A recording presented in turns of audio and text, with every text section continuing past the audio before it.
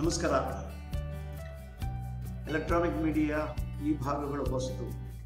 ಹಾಗಾಗಿ ಹೊಸ gadgets use ಮಾಡಬೇಕಾದ್ರೆ ನನಗೆ ನನ್ನದೇ ಆದ ಕನ್ಫ್ಯೂಷನ್ಸ್ ಇದೆ. ಹಾಗಾಗಿ ಒಂದು ಆರೇಳು ನಿಮಿಷ ನಿಧಾನ ಆಗಿದೆ ಕ್ಷಮೆ. ನಮಸ್ಕಾರ ಜ್ಯೋತಿ ಅವರಿಗೆ. ಇದು ಈ ತರಹದ ಭಾಷಣಗಳು ನನಗೆ ಬಹಳ ಅನುಭವ ಇಲ್ಲ. ಆದರೆ ಮಾಡೋದು ಮಾತಾಡೋದು ಮಾತಾಡ್ತೇನೆ ವಿಷಯದ ಬಗ್ಗೆ. ಎಷ್ಟರ ಮಟ್ಟಿಗೆ ಮನಸ್ಸಿಗೆ ಬಿಡ್ತೀನೋ ಬಿಡ್ತೀನೋ ಗೊತ್ತಿಲ್ಲ. ಅರವಿಂದ ಕುಲಕರ್ಣಿ ಅವರಿಗೆ ನಮಸ್ಕಾರ. ಇವತ್ತು ನಾನು ಮಾತಾಡೋಕ್ಕೆ ಇಷ್ಟಪಡುವಂಥ ವಿಷಯ, ಮಾತು ಅನ್ನೋದಕ್ಕಿಂತ ಕೆಲವು ಅನಿಸಿಕೆ ಅಂತ correct is more a love thinking ಅಂತ ಹೇಳಿ ಮಾತಾಡುವಂಥ ವಿಷಯ ರಂಗಭೂಮಿ, ಪ್ರಸಕ್ತ ಕನ್ನಡ ರಂಗಭೂಮಿಯ ಸನ್ನಿವೇಶದಲ್ಲಿ ಇದು ವೃತ್ತಿನ ಅಥವಾ ಪ್ರವೃತ್ತಿನ? ನಾನು ಎಂಬತ್ತೊಂದು ನನ್ನ ನೆಂಟಸ್ತಿಗೆ ರಂಗಭೂಮಿಯಲ್ಲಿರೋದು ಎಂಬತ್ತೊಂದರಿಂದ ಎಂಬತ್ತೆಂಟರವರೆಗೂ ಆಕ್ಟಿವ್ ಆಗಿದ್ದಂಥವನು ನಂತರ ಮತ್ತೆ ನಾನು ಬಂದದ್ದು ಎರಡು ಸಾವಿರದ ಹದಿಮೂರು. ಎರಡು ಸಾವಿರದ ಹದಿಮೂರು ನಂತರ ಮತ್ತಿದ್ದೇನೆ.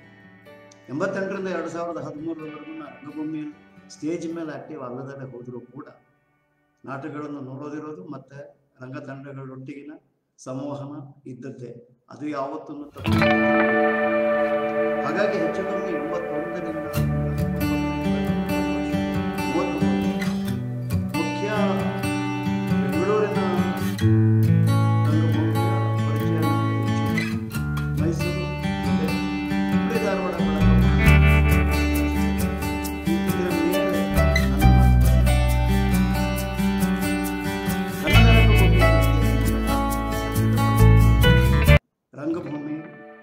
ವೃತ್ತಿ ಅಂತಾಗಿ ಉಳಿಕೊಂಡ್ರೆ ಬದುಕಲಿಕ್ಕೆ ಸಾಧ್ಯ ಇಲ್ಲ. ಅದು ವೃತ್ತಿ ಆಗಿಲ್ಲ. ಹಾಗೆ ನೋಡಿದ್ರೆ ಈಗಲೂ ವೃತ್ತಿಯಾಗಿ ನಿಲ್ಲಬಹುದಾದ ಒಂದೇ ಒಂದು ರಂಗಭೂಮಿ ನನಗೆ ಪರಿಚಯ ಇದ್ದ ಹಾಗೆ. ಅದು ಮರಾಠಿ ರಂಗಭೂಮಿ. ತಮಿಳು ರಂಗಭೂಮಿಗಳಲ್ಲೂ ವೃತ್ತಿಯಾಗಿ ತಗೊಂಡವರಿದ್ದಾರೆ. ಹಾಗೆಯೇ ಗುಜರಾತಿ ರಂಗಭೂಮಿಯ ಬಗ್ಗೆ ಸ್ವಲ್ಪ ಕೇಳಿದ್ದೇವೆ ಆದರೆ ಕನ್ನಡ ರಂಗಭೂಮಿಯಲ್ಲಿ ನಾವು ವೃತ್ತಿಯಾಗಿ ತಗೊಂಡಿದ್ದೀವಿ ಅಂತ ಹೇಳ್ಕೊಂಡ್ರು ಕೂಡ ನಾವ್ಯಾರು ವೃತ್ತಿಯಿಂದ ವೃತ್ತಿಪರ ರಂಗಭೂಮಿ ಅಂತ ಯಾರು ಮಾಡ್ತಾ ಇದ್ದಾರೆ ಅಂತ ಅನ್ಸಲ್ಲ. ಬೇರೇನೂ ಮಾಡ್ತಾ ಇಲ್ಲ, ಈಗ ಒಂದನ್ನೇ ಮಾಡ್ತಾ ಇದ್ದೀವಿ ಅನ್ನೋ ಕಾರಣಕ್ಕೆ ವೃತ್ತಿ ಅಂತ ಕರಿಬಹುದೇ ಹೊರತು ಇದರ ಮೇಲೆ ಜೀವನ ಮಾಡ್ತಾ ಇದ್ದಾರೆ ಇನ್ನ ಜೀವನ ಮಾಡಲಿಕ್ಕೆ ಸಾಧ್ಯವೇ ಪ್ರಶ್ನೆ. ಹಾಗಾಗಿ ರಂಗಭೂಮಿ, ಕನ್ನಡದ ದೃಷ್ಟಿಯಲ್ಲಿ ನೋಡಿದ್ರೆ ಇದು ಪ್ರವೃತ್ತಿಯಾಗಿಯೇ ಸುಖ, ವೃತ್ತಿಯಾಗಲ್ಲ, ನನಗೆ ಗೊತ್ತಿದ್ದ ಮಾಡಿ ವೃತ್ತಿ ರಂಗಭೂಮಿಗಳು ಇರಲಿಲ್ವಾ ಕನ್ನಡದಲ್ಲಿ? ಕನ್ನಡದಲ್ಲಿ ವೃತ್ತಿ ರಂಗಭೂಮಿ ಸಾಕಷ್ಟು ವೃತ್ತಿ ರಂಗಭೂಮಿ ವೃತ್ತಿ ತಂಡಗಳು ಸಾಕಷ್ಟು ಇತ್ತು. ಇತ್ತೀಚೆಗೆ ಅಂದ್ರೆ ನಾನು ಹುಟ್ಟಿದ, ನನಗೆ ಬುದ್ಧಿ ಬಂದ ಕಾಲದಿಂದ ನೋಡಿದಂಥದ್ದೇ ಇದೆ. ಗುಬ್ಬಿವರಣ್ಣದವ್ರದ್ದಿತ್ತು ನನಗೆ ಬಾಳಪ್ಪನವ್ರದ್ದಿತ್ತು ಹಿರಣ್ಣಯ್ಯನವರು ನಂತರ ಮಾಸ್ಟರ್ ಹಿರಣ್ಣಯ್ಯನವರು ನಂತರ ಚಿಂದೋಡಿ ಫ್ಯಾಮಿಲಿನವರು ಅವ್ರದ್ದಿತ್ತು. ಹಾಗಾಗಿ ವೃತ್ತಿ ರಂಗಭೂಮಿಯಲ್ಲಿ ಇರಲಿಲ್ಲ ಅಲ್ಲ. ರಂಗಭೂಮಿಯನ್ನು ವೃತ್ತಿಯಾಗಿ ತಗೊಂಡವರು ಕನ್ನಡದಲ್ಲಿ ಇರಲಿಲ್ಲ ಅಂದ್ರೆ ಖಂಡಿತ ಇದ್ದರು ಮತ್ತೆ ಅದನ್ನು ವೃತ್ತಿಯಾಗಿ ತಗೊಂಡು ಅಷ್ಟೇ ಅದ್ಭುತವಾಗಿ ನಡೆಸಿದ್ರು. ಮತ್ತೆ ಅದರ ಮೇಲೆ ಜೀವನವೂ ಮಾಡಿದ್ರು. ಅಷ್ಟೇ ಅಲ್ಲ, ಹೆಂಡತಿ ಮಕ್ಕಳನ್ನು ಸಾಕಿದ್ರು ನಂತರ ಆಸ್ತಿ ಕೂಡ ಮಾಡಿದ್ರು. ಹಾಗಾಗಿ ವೃತ್ತಿಯಾಗಿ ಇದ್ದದ್ದು ಇತ್ತು. ನಂತರದ ದಿನಗಳಲ್ಲಿ ಇದು ಪ್ರವೃತ್ತಿಯಾಗಿ ಬಂದದ್ದು. ಬೆಂಗಳೂರಿನಂಥ ಜಾಗದಲ್ಲಿ ಪ್ರವೃತ್ತಿಯಾಗಿ ಉಳ್ಕೊಂಡು ಪ್ರವೃತ್ತಿಯಿಂದ ಮತ್ತೆ ವೃತ್ತಿಯಾದದ್ದು ಯಾವಾಗ ಅಂತಂದ್ರೆ, ನಮ್ಮಲ್ಲಿ ಟ್ರೈನ್ಡ್ ಜನಗಳು ಬಂದ ನಂತರ. ಅಂದ್ರೆ ನ್ಯಾಷನಲ್ ಸ್ಕೂಲ್ ಆಫ್ ಡ್ರಾಮಾ ಇಂದ ಹೆಗ್ಗೋಡನಿಂದ ಆಗಿ ನಂತರ ರಂಗಾಯಣ ಶುರುವಾಯಿತು. ಹಾಗಾಗಿ ಏನಾಯಿತು? ಇಲ್ಲಿಂದ ಬಂದಂತಹವರು ಅಥವಾ ಇಲ್ಲಿಂದ ತರಬೇತಿ ತಗೊಂಡಂಥವ್ರು ಇಲ್ಲಿಗೆ ಬಂದಾಗ ಮತ್ತದು ವೃತ್ತಿಯಾಗಿ ಬಿತ್ತು ಅದರ ಒಂದು, ಎಂಬತ್ತರ ದಶಕದಲ್ಲಿ ನಾನು ಬಿ ವಿ. ಕಾರಂತರು ಸಿ. ಆರ್. ಸಿಂಹ, ಲೋಕೇಶ ಇವರುಗಳ ಕಾಲದಲ್ಲಿ ನಾಟಕಗಳನ್ನು ನೋಡ್ತಾ ಇದ್ದಾಗ ಕಲಾಕ್ಷೇತ್ರದ ಒಂದು ಸಾವಿರ ಟಿಕೆಟ್, ಒಂದು ಸಾವಿರ ಜನ ನೋಡುವಂತಹ ಕಲಾಕ್ಷೇತ್ರದಲ್ಲಿ ಕ್ಯೂ ನಿಂತು ಟಿಕೆಟ್ ತಗೊಂಡು ಬಾಲ್ಕನಿಯ ಕೊನೆಯ ಸೀಟಲ್ಲಿ ನೋಡಿ ನಾಟಕ ನೋಡಿದ್ದಿದೆ ಆದರೆ ಇತ್ತೀಚಿನ ಹತ್ತು ವರ್ಷಗಳಲ್ಲಿ ರಂಗಶಂಕರದಂತಹ ಮುನ್ನೂರು ಸೀಟಿನ ಥಿಯೇಟರ್ನ ಗ್ಯಾರಂಟಿಯಾಗಿ ನಾವು ಹೌಸ್ಫುಲ್ ಮಾಡ್ತೀವಿ ಅಂತ ಹೇಳುವಂತ ಒಬ್ಬ ಮನುಷ್ಯನೂ ಇರಲಿಲ್ಲ ವ್ಯತ್ಯಾಸ ನೀವು ಖಂಡಿತ ಗಮನಿಸಬಹುದು. ಬದಲಾಗಿದೆ. ಅಂದ್ರೆ ಆಗ ಅಮೆಚೂರ್ ಅಂತ ಮಾಡ್ತಾ ಇದ್ದವರು ಥಿಯೇಟರ್ನ ತುಂಬುತ್ತಾ ಇದ್ರು. ನಂತರ ನಿಧಾನವಾಗಿ ಪ್ರೊಫೆಷನಲ್ ಆಗಿ ಬಂದಿದ್ದೀವಿ ಅಂತ ಹೇಳ್ಕೊಂಡವರು ಕೂಡ ಥಿಯೇಟ್ರನ್ನು ತುಂಬುವುದಕ್ಕೆ ಆಗ್ತಾ ಹಾಗಾಗಿ ಇಲ್ಲಿ ವೃತ್ತಿಯಾಗೇ ಏನಾದರೂ ಉಳ್ಕೊಂಡಿದ್ರೆ? ಅಲ್ಲಿ ಇಲ್ಲಿ ಉಳ್ಕೊಂಡಿರ್ಬೋದೇ ಹೊರತು ವೃತ್ತಿಯಾಗಿ ಉಳ್ಕೊಂಡವರು, ರಂಗಭೂಮಿಯಿಂದ ಉಳ್ಕೊಂಡಿಲ್ಲ, ಅವರು ಬೇರೆ ಏನೋ ಮಾಡ್ತಾ ಇರ್ಬೋದು. ಅಂದರೆ ಟಿ ವಿ ಸೀರಿಯಲ್ ಮಾಡ್ತಾ ಇರ್ಬೋದು, ಅಥವಾ ಇನ್ನೆಲ್ಲೋ ಡಬ್ಬಿಂಗ್ ಆರ್ಟಿಸ್ಟ್ ಆಗಿ ವರ್ಕ್ ಮಾಡ್ತಾ ಇರ್ಬೋದು, ಅಥವಾ ಬೇರೆ ಎಲ್ಲೋ ಯಾವುದೋ ಒಂದು ಸೀರಿಯಲ್ನಲ್ಲಿ ಡಬ್ ಮಾಡ್ತಾ ಇರಬಹುದು ಅಥವಾ ಫಿಲಮ್ಗೆ ಡಬ್ಬಿಂಗ್ ಆರ್ಟಿಸ್ಟ್ ಆಗ್ಬೋದು, ಅಥವಾ ವರ್ಕ್ಶಾಪ್ಗಳು ಮಾಡ್ತಾ ಇರ್ಬೋದು ಸ್ಕೂಲು ಕಾಲೇಜುಗಳಲ್ಲಿ ಇರ್ಬೋದೇ ಹೊರತು. ಆದರೆ ಸುಖವಾಗಿ ಇದನ್ನು ವೃತ್ತಿಯಾಗಿ ತಗೊಂಡು ನಾನು ಸುಖವಾಗಿದ್ದೀನಿ ಅಂತ ಹೇಳುವವರು ಯಾವುದೂ ಇಲ್ಲ. ಯಾಕೆ ಹೀಗೆ ಅನ್ನೋದು ನನಗೂ ಬಹಳ ಸರ್ತಿ ಕಾಡಿಲ್ಲ, ಕಾಡದ ವಿಷಯ ಏನಲ್ಲ ಅದರ ಒಂದು ಸಣ್ಣ ಸಮಸ್ಯೆ ನನಗನ್ಸೋದು ಏನಂತಂದ್ರೆ ವೃತ್ತಿಯಾಗಿ ನಾನು ಇದನ್ನ ತಗೊಳ್ತೀನಿ ಅಂತ ಅದಕ್ಕೆ ಬೇಕಾದ ತಯಾರಿ ನಮ್ಗೆ ಇದೆಯಾ ಅನ್ನೋ ಅದು ಮುಖ್ಯ ಆಗ್ತದೆ ನ್ಯಾಷನಲ್ ಸ್ಕಾಲರ್ ಡ್ರಾಮಾ ವಿಷಯ ಬೇರೆ. ಮೂರು ವರ್ಷದ ಗ್ರಾಜ್ಯುಯೇಷನ್ ಕೆಲ ಇನ್ನೊಂದು ವರ್ಷ, ನಾಲ್ಕು ವರ್ಷ. ಅದೇ ಬೇರೆ ಕಡೆ ಟ್ರೈನ್ ಆಗಿರ್ತಕ್ಕಂಥದ್ದು ಒಂದೊಂದು ವರ್ಷದ ಸರ್ಟಿಫಿಕೇಶನ್ ಕೋರ್ಸ್ಗಳು ಅಥವಾ ಡಿಪ್ಲೊಮಾ ಕೋರ್ಸ್ಗಳು ಅಷ್ಟೇ, ಅದನ್ನು ಮೀರಿ ಅಲ್ಲಿಗೆ ಒಂದು ವರ್ಷದಲ್ಲಿ ನಾನು ಕಲಿತಂಥ ವಿದ್ಯೆ ಏನಿದ್ರೆ ನಾನು ನಲವತ್ತು ವರ್ಷದ ಜೀವನವನ್ನು ನಡೆಸ್ತೀನಿ ಅನ್ನೋದಕ್ಕೆಲ್ಲ ಅದು ಸಾಮಾನ್ಯ ಸಾಧ್ಯವಾಗದ ವಿಷಯ. ಯಾಕಂದ್ರೆ ಅಷ್ಟು ಸರಕು ಉಳಿದಿರೋದೇ ಇಲ್ಲ. ಮುಖ್ಯ ರಂಗಭೂಮಿಯನ್ನು ವೃತ್ತಿಯಾಗಿ ನಾನು ತಗೋಬೇಕು ಅಂತ ಆದರೆ ನನ್ನ ನೋಡಕ್ಕೆ ಜನ ಬರಬೇಕಲ್ಲ ಜನ ಬಂದರೆ ನನಗೆ ರಂಗಭೂಮಿ, ಜನವೇ ಬರದಿದ್ರೆ ನನ್ನ ರಂಗಭೂಮಿ? ಅಲ್ಲಿಗೆ ಎಲ್ಲೋ ಒಂದು ಕಡೆ ಜನ ಸ್ಪಂದಿಸುವಂತ, ಅಂದ್ರೆ ಜನರ ಮನಸ್ಸಿಗೆ ಮುಟ್ಟುವಂತಹ, ನಾನು ಹೇಳೋದು ಜನ ಒಪ್ಪುವಂತಹ ಅನ್ನೋದನ್ನು ನಾನು ಹೇಳ್ತಾ ಇಲ್ಲ. ಜನ ಕೆಲವನ್ನು ಒಪ್ಪಬಹುದು, ಒಪ್ಪದೇ ಇರಬಹುದು. ಅದರ ಒಂದು ಜನರ ಮನಸ್ಸಿಗೆ ಮುಟ್ಟುವಂತಹ, ಅವನೊಳಗೆ ಏನೋ ಒಂದನ್ನು ಕೆಣಕುವಂತಹ ನಾಟಕಗಳನ್ನು ನಾನು ಮಾಡೋದೇ ಆದರೆ ರಂಗಭೂಮಿಯಲ್ಲಿ ಪ್ರೇಕ್ಷಕರು ಇರ್ತಾನೆ. ಹಾಗಾಗಿ ರಂಗಭೂಮಿಯನ್ನು ನಾನು ವೃತ್ತಿಯಾಗಿ ತಗೋಬಹುದು. ಈಗಿನ ಪರಿಸ್ಥಿತಿ ಹಾಗಿದೆಯಾ? ಕಳೆದ ಮೂವತ್ತು ವರ್ಷದಲ್ಲಿ ಇಷ್ಟು ಜನ ರಂಗಭೂಮಿಯಲ್ಲಿ ನಟರು ಬಂದು ಹೋಗಿದ್ದೀವಿ, ನಿರ್ದೇಶಕರು ಬಂದು ಹೋಗಿದ್ದೀವಿ ನಾಟಕಕಾರರು ಬಂದು ಹೋಗಿದ್ದಾರೆ, ಎಲ್ಲರೂ ಬಂದು ಹೋಗಿದ್ದಾರೆ. ಅದರ ಕಳೆದ ಮೂವತ್ತು ವರ್ಷದಲ್ಲಿ ಇರುವಂತಹ ಈ ಎರಡು ಸಾವಿರ, ಮೂರು ಸಾವಿರ ಜನ ಇರಬಹುದು ಯಾಕಂದ್ರೆ ಇತ್ತೀಚೆಗೆ ಕೋವಿಡ್ ನೈನ್ಟೀನ್ನಲ್ಲಿ ಒಬ್ಬೊಬ್ಬರಿಗೆ ಎರಡು ಸಾವಿರ ರೂಪಾಯಿ ಕೊಡಬೇಕು ಅಂತ ಲಿಸ್ಟ್ ಮಾಡಿದಾಗ ಕೊನೆಯ ಲಿಸ್ಟೇ ಎರಡು ಸಾವಿರ ಜನ ಇತ್ತಂತೆ ಆಗಲೇ ನನಗೆ ಗೊತ್ತಾಗಿತ್ತು ರಂಗಭೂಮಿಗೆ ಸಂಬಂಧಪಟ್ಟವರು ಎರಡು ಸಾವಿರ ಜನ ಇದ್ದಾರೆ. ಈ ಎರಡು ಸಾವಿರ ಜನ ಇಲ್ಲಿ ಪೋಸ್ಟ್ ಮೇಲೆ ಹೆಸರು ಹಾಕಿದ್ರೆ ಒಂದು ಮೊದಲ ಶೋ ಆದರೂ ಹೌಸ್ಫುಲ್ ಆಗತ್ತೆ ಅಂತ ಹೇಳ್ಕೊಳ್ಳುವಂಥವ್ರು ಎರಡು ಜನ ಇದ್ದೀವಿ ಹಾಗಿದ್ದಾಗ ಮುನ್ನೂರು ಜನರ ಥಿಯೇಟ್ರನ್ನ ಮೊದಲ ಶೋಗೆ ಹೌಸ್ಫುಲ್ ನನ್ನ ಹೆಸರು ಹಾಕಿ ಮಾಡೋದಕ್ಕೆ ಸಾಧ್ಯ ಇಲ್ಲ ಅನ್ನೋದಾದರೆ ರಂಗಭೂಮಿ ವೃತ್ತಿಯಾಗಿ ಹೇಗೆ ಉಳಿಲಿಕ್ಕೆ ಸಾಧ್ಯ ಇದೆ?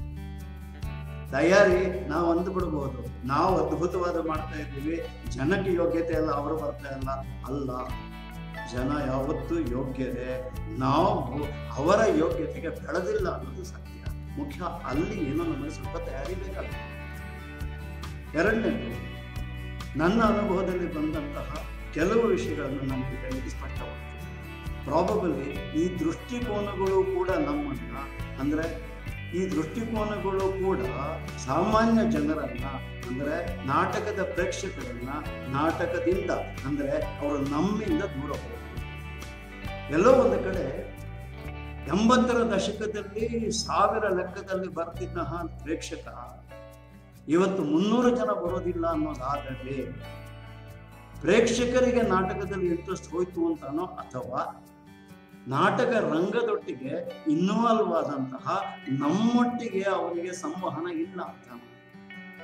ನನಗನ್ಸೋದು, ನಾಟಕದೊಟ್ಟಿಗೆ ಅವನಿಗೆ ಈಗಲೂ ಇದೆ ಪ್ರೇಕ್ಷಕನಿಗೆ. ಆದರೆ ಅವ ನಮ್ಮನ್ನ, ಅವನ ಭಾಗ ಅಂತ ಅವನು ನೋಡ್ತಾ ಇಲ್ಲ. ನಮ್ಮನ್ನ ಬೇರೆ ಏನೋ ಆಗಿ ನೋಡ್ತಾ ಇದ್ದಾನೆ. ಹಾಗಾಗಿ ನಾವು ಬೇರೆಯಾಗೆ ಗುರುತಿಸ್ಕೊಂಡಿದ್ದೀವಿ. ಆ ಕಾರಣಕ್ಕೆ ಪ್ರೇಕ್ಷಕ ಬರ್ತಾನೆ ಪ್ರೇಕ್ಷಕನೇ ಬರದೆ ಹೋದಾಗ ರಂಗಭೂಮಿಯಲ್ಲಿ ಉಳಿಯುತ್ತೆ. ನಾನು ನೀವು ಮಾತಾಡಿ ರಂಗಭೂಮಿ ಮಾಡೋದಾದ್ರೆ ಬರೀ ನಾಟಕ ಅಕಾಡೆಮಿಯಿಂದ ಕಾಸು ಬಂತು, ನನ್ನ ಸಂಸಾರ ನಡೀತು, ನಿಮ್ಮ ಸಂಸಾರ ನಡೀತು ಅನ್ನೋದೊಂದು ಬಿಟ್ರೆ, ಜೊತೆಗೆ ಅಕಾಡೆಮಿಯಿಂದ ಕಾಸು ಕೊಡ್ಬೇಕಾದ್ರೆ ಅಲ್ಲಿ ಯಾರು ಕೆಲಸದವ್ರು ಇರ್ತಾರೆ ಅವರೇನೋ ಒಂಚೂರು ತಗೋಬಹುದು ಅಥವಾ ಇನ್ಯಾರೋ ಒಂದ್ ಸ್ವಲ್ಪ ಅವ್ರ ಜೀವನಕ್ಕಾಗಬಹುದು ಹಾಗಾಗಿ ಹತ್ತಾರು ಕಡೆಯ ಹಂಚಿಕೆಗಳಾಗ್ತದೆ ಅನ್ನೋದು ನಡೆದರೆ ರಂಗಭೂಮಿಯಲ್ಲಾಗತ್ತೆ. ಕೆಲವು ಘಟನೆಗಳು, ನನ್ನನ್ನು ಕಾಡಿದಂತ ಘಟನೆಗಳು ಅದನ್ನೆಲ್ಲ ಹೇಳ್ತೇನೆ. ಪ್ರಾಬಬ್ಲಿ ಎಲ್ಲೋ ಒಂದು ಕಡೆ ಪ್ರೇಕ್ಷಕ ಅಥವಾ ಸಾಮಾನ್ಯ ಜನರು ರಂಗಭೂಮಿಯಿಂದ ದೂರ ಯಾಕೆ ಹೋಗ್ತಾರೆ ಅನ್ನೋ ಭಾವ ಒಂದು ನಮ್ಮದೇ ಒಂದು ಭ್ರಮೆ ಇದೆ. ನಾಟಕದವರೆಗೆ ಒಂದು ಭ್ರಮೆ. ನಾವು ನಾಟಕ ಮಾಡ್ತಾ ಇದ್ದೀವಿ ಅಂತಂದ್ರೆ ಜೀವನದಲ್ಲಿ ಏನೋ ತ್ಯಾಗ ಮಾಡಿ ಕಲೆಯ ಸೇವೆಗೆ ಬಂದಿದ್ದೀವಿ. ಸ್ಪಷ್ಟವಾಗಿ ನಾನು ಅಂತೇನೆ ಕೇಳಿ. ನನಗನ್ಸಿರೋದು ಹೇಳ್ತೀನಿ ಸ್ಪಷ್ಟವಾಗಿ. ನಾನು ಯಾವ ಸೇವೆಗೆ ಅಂತ ಕಲಾರಂಗಕ್ಕೆ ಬಂದವನಲ್ಲ ಹೊಟ್ಟೆಗೆ ಹೇಗೆ ಹಸಿವಿರುತ್ತೋ ಬೌದ್ಧಿಕವಾಗಿಯೂ ಹಾಗೆ ಹಸಿವಿತ್ತು ಆ ಹಸುವನ್ನ ತಣಿಸೋದಕ್ಕೋಸ್ಕರ ನಾನು ರಂಗಭೂಮಿಗೆ ಬಂದದ್ದು. ನನಗೆ ನನ್ನ ಹಸುವನ್ನ ತಣಿಸಿಕೊಳ್ಳುವ ಅವಶ್ಯಕತೆಗೆ ನಾನು ರಂಗಭೂಮಿಗೆ ಬಂದೆ. ನನ್ನ ಹಸುವನ್ನ ತಣಿಸಿಕೊಳ್ಳುವ ಕ್ರಿಯೆಯಲ್ಲಿ ಎಷ್ಟೋ ಜನ ಪ್ರೇಕ್ಷಕರಿಗೆ ಅವರ ಹಸಿವು ತಣಿದಿದೆ ಬೌದ್ಧಿಕವಾಗಿ ಅನ್ನೋದಾದರೆ ಅವರು ನನ್ನೊಟ್ಟಿಗೆ ಗುರುತಿಸ್ಕೊತಾರೆ ಅದಿಲ್ಲದಿದ್ರೆ ನನ್ನಿಂದ ದೂರ ಹೋಗ್ತಾರೆ. ಎರಡು, ಮೂರು ವರ್ಷದ ಹಿಂದೆ ಆದಂತಹ ಒಂದು ಸಣ್ಣ ಘಟನೆ. ನಾಟಕ ಅಕಾಡೆಮಿ ಇದೆ ನಮ್ಮಲ್ಲಿ. ನಾಟಕ ಅಕಾಡೆಮಿನವರು ಅವಾರ್ಡ್ ಕೊಡ್ತಾರೆ. ಅವಾರ್ಡ್ ಒಂದು ಕೊಳ್ಳೆ ಅವರು ಫಲಕಗಳನ್ನು ಕೊಡ್ತಾರೆ ಮೊಮೆಂಟ್ಗಳನ್ನು ಕೊಡ್ತಾರೆ. ಇಲ್ಲಿ ಕರ್ನಾಟಕ ನಾಟಕ ಅಕಾಡೆಮಿಯಲ್ಲಿ ನನಗೆ ಗೊತ್ತಿದ್ದ ಹಾಗೆ ಮೊಮೆಂಟೋ ಒಂದು ನಟರಾಜನ ವಿಗ್ರಹ ಅಂತ ಕೊಡ್ತಿದ್ರು. ಅದೊಂದು ಇತ್ತು ಅದು ಈಗಲೂ ಇದೆ ನನಗೆ ಗೊತ್ತಿದ್ದ ಮಟ್ಟಿಗೆ. ಈಗ ಒಂದು ಮೂರು ವರ್ಷದ ಹಿಂದೆ ಕಾರಣವಿಲ್ಲದೆ ಒಂದು ಚರ್ಚೆ ಶುರುವಾಗತ್ತೆ. ಇಷ್ಟು ವರ್ಷ ನಟರಾಜನ ವಿಗ್ರಹ ಮೊಮೆಂಟೋ ಕೊಡ್ತಾ ಇದ್ದೀವಿ. ಇನ್ನು ಮುಂದೆ ಬೇಡ, ಬದಲು ಮಾಡೋಣ. ಯಾಕೆ ಬದಲು ಮಾಡಬೇಕು? ಈ ಪ್ರಶ್ನೆಗೆ ಯಾರ ಹತ್ರವೂ ಸಮರ್ಪಕದ ಉತ್ತರ ಇಲ್ಲ. ಏನು ಅಂದ್ರೆ, ನನ್ನ ಪೀರಿಯಡ್ ಅಲ್ಲಿ ಏನಾದ್ರು ಹೊಸದು ಮಾಡ್ಬೇಕಲ್ಲ ಅಲ್ಲ, ನಮ್ಮ ಪೀರಿಯಡ್ ಅಲ್ಲಿ ಹೊಸ್ತು ಮಾಡ್ಬೇಕು ಅಂದ್ರೆ ನಾಟಕ ರಂಗಕ್ಕೆ ಬೇಕಾದಂತ ಹೊಸ್ತು ಏನಾದ್ರು ಮಾಡ್ಬೇಕಲ್ವಾ? ಎಡಕ್ಕಿರೋ ಟಾಯ್ಲೆಟ್ನ ಒಳದಾಕಿ ಬಲಕ್ಕೆ ಕಟ್ಸಿದ್ರೆ ಅದು ನನ್ನ ಪೀರಿಯಡ್ ಅಲ್ಲಿ ಹೊಸ್ತು ಮಾಡಿದ್ದಾಗತ್ತ ಅದಕ್ಕೂ ನಾಟಕ ರಂಗಕ್ಕೂ ಏನ್ ಸಂಬಂಧ ಇದೆ? ಆಯ್ತು, ನಟರಾಜನ ವಿಗ್ರಹವನ್ನು ಬದಲು ಮಾಡಬೇಕು. ಬದಲಿಗೆ ಏನು ಮಾಡೋಣ? ಏನಾದ್ರು ಒಂದು ಕೊಡಬೇಕಲ್ಲ. ಮೊಮೆಂಟೋ ಅಂತ ಕೊಟ್ಟ ಮೇಲೆ ಅದು ಯಾವುದರದ್ದು ಒಂದು ಬಿಂಬ ಆಗಬೇಕಲ್ವ? ಅಲ್ಲಿಗೆ ಆಗ ಬಂದಂತಹ ಚರ್ಚೆ ಏನಂದ್ರೆ ಮಿಡ್ ಸಮರ್ ನೈಟ್ಸ್ ಸ್ಟ್ರೀಮಿನ ಯಾವುದೋ ಒಂದು ದೃಶ್ಯದ ಒಂದನ್ನ ಮಾಡೋಣ ಮೊಮೆಂಟು. ಇಲ್ಲಿ ಪ್ರಶ್ನೆ ಬರೋದಿಷ್ಟೇ. ಕರ್ನಾಟಕದಲ್ಲಿ ಕೂತಿದ್ದೇವೆ. ಕನ್ನಡದ ನಾಟಕಗಳನ್ನು ಮಾಡ್ತಾ ಇದ್ದೇವೆ. ಕರ್ನಾಟಕ ನಾಟಕ ಅಕಾಡೆಮಿ ಕೊಡ್ತಾ ಇರೋ ಮೊಮೆಂಟು. ಅಲ್ಲಿಗೆ ನಟರಾಜನ ವಿಗ್ರಹಕ್ಕಿಂತ ರೆಲೆವೆಂಟ್ ಆಗಿ ಸಾಧ್ಯ? ಆಯ್ತು, ನಟರಾಜ, ಬಡ ಸರಸ್ವತಿ ಕೊಡಿ. ಅದು ಬೇಡ, ಇನ್ನೊಂದು ಆಗ್ತದೆ. ಆಹಾ ಮಿಡ್ ಸಮ್ಮರ್ ನೈಟ್ಸ್ ಯಾಕೆ ಬೇಕಾಗುತ್ತೆ? ನಮಗೆ ನಾನು ಹೇಳ್ತಾ ಇರೋದು ಏನು ಅಂತಂದ್ರೆ, ಶೇಕ್ಸ್ಪಿಯರ್ ನಾಟಕವನ್ನು ದ್ವೇಷಿಸಬೇಕು ಅನ್ನೋ ಪ್ರಶ್ನೆ ಅಲ್ಲ.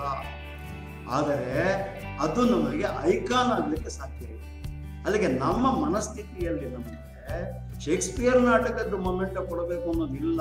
ನಮ್ಮ ಮನಸ್ಥಿತಿಯಲ್ಲಿ ಇರೋದು ನಟರಾಜ ಮೊಮೆಂಟ ಬೇಡ. ನಟರಾಜ ಯಾಕೆ ಬೇಡ?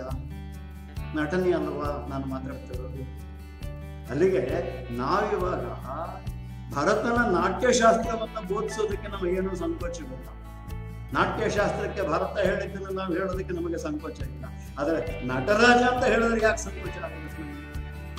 ಅಲ್ಲಿ ಪ್ರಶ್ನೆ ಬಂದದ್ದು ಏನು ಅಂತಂದ್ರೆ, ಈ ನಟರಾಜ ಅನ್ನೋದ್ರ ಜೊತೆಗೆ ಯಾರು ಐಡೆಂಟಿಫೈ ಆಗ್ತಾರೋ ಅವರನ್ನ ದೂರ ಇಡಬೇಕು ಅನ್ನೋದು ಒಂದೇ ಪ್ರಶ್ನೆ ಆಗುತ್ತೆ. ಹೊರತು ಬದಲಿಗೆ ಮೆಡಿಸಿನ್ ಕೊಡೋದು ಇನ್ನೇನಾಗ್ತದೆ ಅಲ್ಲಿಗೆ ನೀವು ನನಗೇನು ಹೇಳ್ತಾ ಇದ್ದೀರಿ?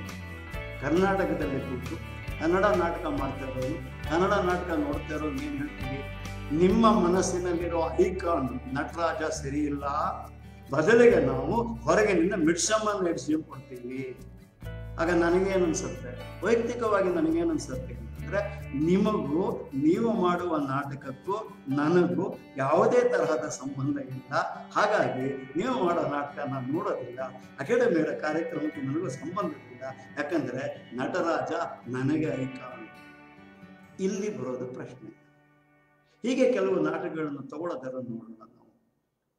ಕೆಲವು ಉದಾಹರಣೆಗಳನ್ನು ಕೊಡ್ತಾ ಹೋಗ್ತೀನಿ. ಎಲ್ಲಿ ನಾವು ಪ್ರೇಕ್ಷಕರಿಂದ ದೂರ ಆಗ್ತಾ ಹೋಗ್ತೀವಿ ಅನ್ನೋ ಪ್ರಶ್ನೆ. ಒಂದು ಸಂಸ್ಕಾರ ಯು ಆರ್ ಅನಂತಮೂರ್ತಿ ಅವರ ಪುಸ್ತಕ. ನಾನು ಪ್ರಾಬಬಲಿ ಇಪ್ಪತ್ತು ಮೂವತ್ತು ವರ್ಷದ ಹಿಂದೆ, ಎಪ್ಪತ್ತರ ದಶಕದಲ್ಲಿ, ಆಗ ಅದು ಫಿಲ್ಮ್ ಕೂಡ ಬಂದಿತ್ತು. ನಾನು ಇಪ್ಪತ್ತು ಸಾರಿ ಬಹಳ ಪ್ರೀತಿಸಿದ ಪುಸ್ತಕ, ಬಹಳ ಸಂತೋಷಪಟ್ಟು ಓದಿದ್ದೇನೆ. ನಂತರ ಅವರ ಭಾರತೀಯಪುರ ನಾಟಕದಲ್ಲಿ ಭಾರತೀಯಪುರ ಪುಸ್ತಕನ ನಾಟಕ ಮಾಡಿದಾಗ ನಾಗೇಶ್ವರ ನಿರ್ದೇಶನದಲ್ಲಿ ಒಂದು ಮುಖ್ಯವಾದ ಪಾತ್ರವನ್ನು ಕೂಡ ನಾನು ಅದರಲ್ಲಿ ಮಾಡಿದ್ದೆ ಹಾಗಾಗಿ ಸಾಹಿತ್ಯಿಕ ದೃಷ್ಟಿಯಿಂದ ಮತ್ತೆ ಕಂಟೆಂಟ್ಸ್ ದೃಷ್ಟಿಯಿಂದ ಸಂಸ್ಕಾರ ಪುಸ್ತಕವನ್ನು ನಾನು ಬಹಳ ಪ್ರೀತಿಸಿಕೊಂಡೆ ನನಗನ್ಸಿದ ಮಟ್ಟಿಗೆ ಸಂಸ್ಕಾರ ಪುಸ್ತಕದಲ್ಲಿ ಮೇನ್ ಥೀಮ್ ಇದ್ದಕ್ಕೆ ಹುಟ್ಟಿನಿಂದ ಯಾರೂ ಬ್ರಾಹ್ಮಣ ಆಗುವುದಿಲ್ಲ. ಬದುಕಿನ ಮೇಲೆ. ಇದು ನನಗೆ ಗೊತ್ತಿದ್ದ ಹಳೆಯ ಕಥೆಗಳ ಲೆಕ್ಕಕ್ಕೆ ಹೋದರೆ, ಪುರಾಣದ ಕಥೆಗಳ ಲೆಕ್ಕಕ್ಕೆ ಹೋದರೆ ಈ ಕಾನ್ಸೆಪ್ಟ್ ಹೊಸದಲ್ಲ ನನಗೂ ಕೂಡ. ಯಾಕಂದ್ರೆ ನಾವು ಜಾಬಾಲಿ ಕತೆ ಹೇಳಿ ಹೇಳ್ತೀವಿ. ಜಾಬಾಲಿ ಕಥೆಯಲ್ಲೂ ಅಷ್ಟೇ? ಅಮ್ಮ ಹೇಳ್ತಾಳೆ, ನಿನ್ನಪ್ಪ ಯಾರು ಅಂತ ನನಗೆ ಗೊತ್ತಿಲ್ಲ. ಎಷ್ಟೋ ಜನರ ಸೇವೆಯಲ್ಲಿ ನಾನಿದ್ದೆ, ಹಾಗಾಗಿ ನೀನು ಹುಟ್ಟಿದ್ದೆ. ಕೇಳಿದ್ರೆ ನೀನು ನನ್ನ ಮಗ ಅಂತ ಹೇಳುತ್ತೆ. ಇಂಥ ಜಾತಿ ಹೇಳಲ್ಲ ಆದರೆ ಅಲ್ಲಿ ಕೂಡ ಬಂದದ್ದು ಪ್ರಶ್ನೆ ಅಂದ್ರೆ ಹುಟ್ಟಿನಿಂದ ಜಾತಿ ಬರುವುದಿಲ್ಲ. ಅವರು ಬದುಕಿದ ರೀತಿಯಿಂದ ಜಾತಿ ಇದು ನನಗೆ ಸಂಸ್ಕಾರದಲ್ಲಿ ಅಂಟಿಕೊಂಡದ್ದು. ಕೊನೆಗೆ ಹೇಳುವ ಮಾತು ಹಾಗೆ ಅವನ ಬ್ರಾಹ್ಮಣ್ಯವನ್ನು ಬಿಟ್ಟರು ಕೂಡ ಬ್ರಾಹ್ಮಣರು ಅವನನ್ನ ಬೆಳೆದಿಲ್ಲ ಮೊದಲಿಗೆ ಇವರು ಕೂಡ ಬದುಕಿನಲ್ಲಿ ಬ್ರಾಹ್ಮಣ ಉಳಿದಿಲ್ಲ ಬದುಕಿನಲ್ಲಿ ಬ್ರಾಹ್ಮಣ ಬರಬೇಕಿತ್ತು ಅಂದರೆ ಇದು ಬೌದ್ಧಿಕ ಮಟ್ಟದ ಪ್ರಶ್ನೆ ಮಾತ್ರ ಅಲ್ಲ, ಬದುಕಿನಲ್ಲಿ ಕೂಡ ಅಷ್ಟೇ ಕಲ್ಚರಲ್ ಇಟ್ಕೋಬೇಕು ಇಲ್ಲದಿದ್ದರೆ ಆ ಬೋರ್ಡನ್ನು ಹಾಕೋದಕ್ಕೆ ಯೋಗ್ಯತೆ ಇಲ್ಲ ಇದು ರಂಗಾಯಣದವರು ನಾಟಕ ಮಾಡಿದ್ರು. ಬೆಂಗಳೂರಿನಲ್ಲಿ ರಂಗಶಂಕರ ನಾಟಕದ ರಂಗಶಂಕರ ಥಿಯೇಟರ್ ನಾನೇ ನೋಡ್ತಾ. ಅದರ ಮೊದಲ ದೃಶ್ಯ ಬರೋದೇ ಏನು ಅಂತಂದ್ರೆ ಇಪ್ಪತ್ತು ಜನ ತಲೆ ಬೋಳಿಸಿದ ಕೆಂಪು ಸೀರೆ ಉಟ್ಟಂತಹ ವಿಧವೆಯರನ್ನು ತೋರಿಸಿದ್ರು.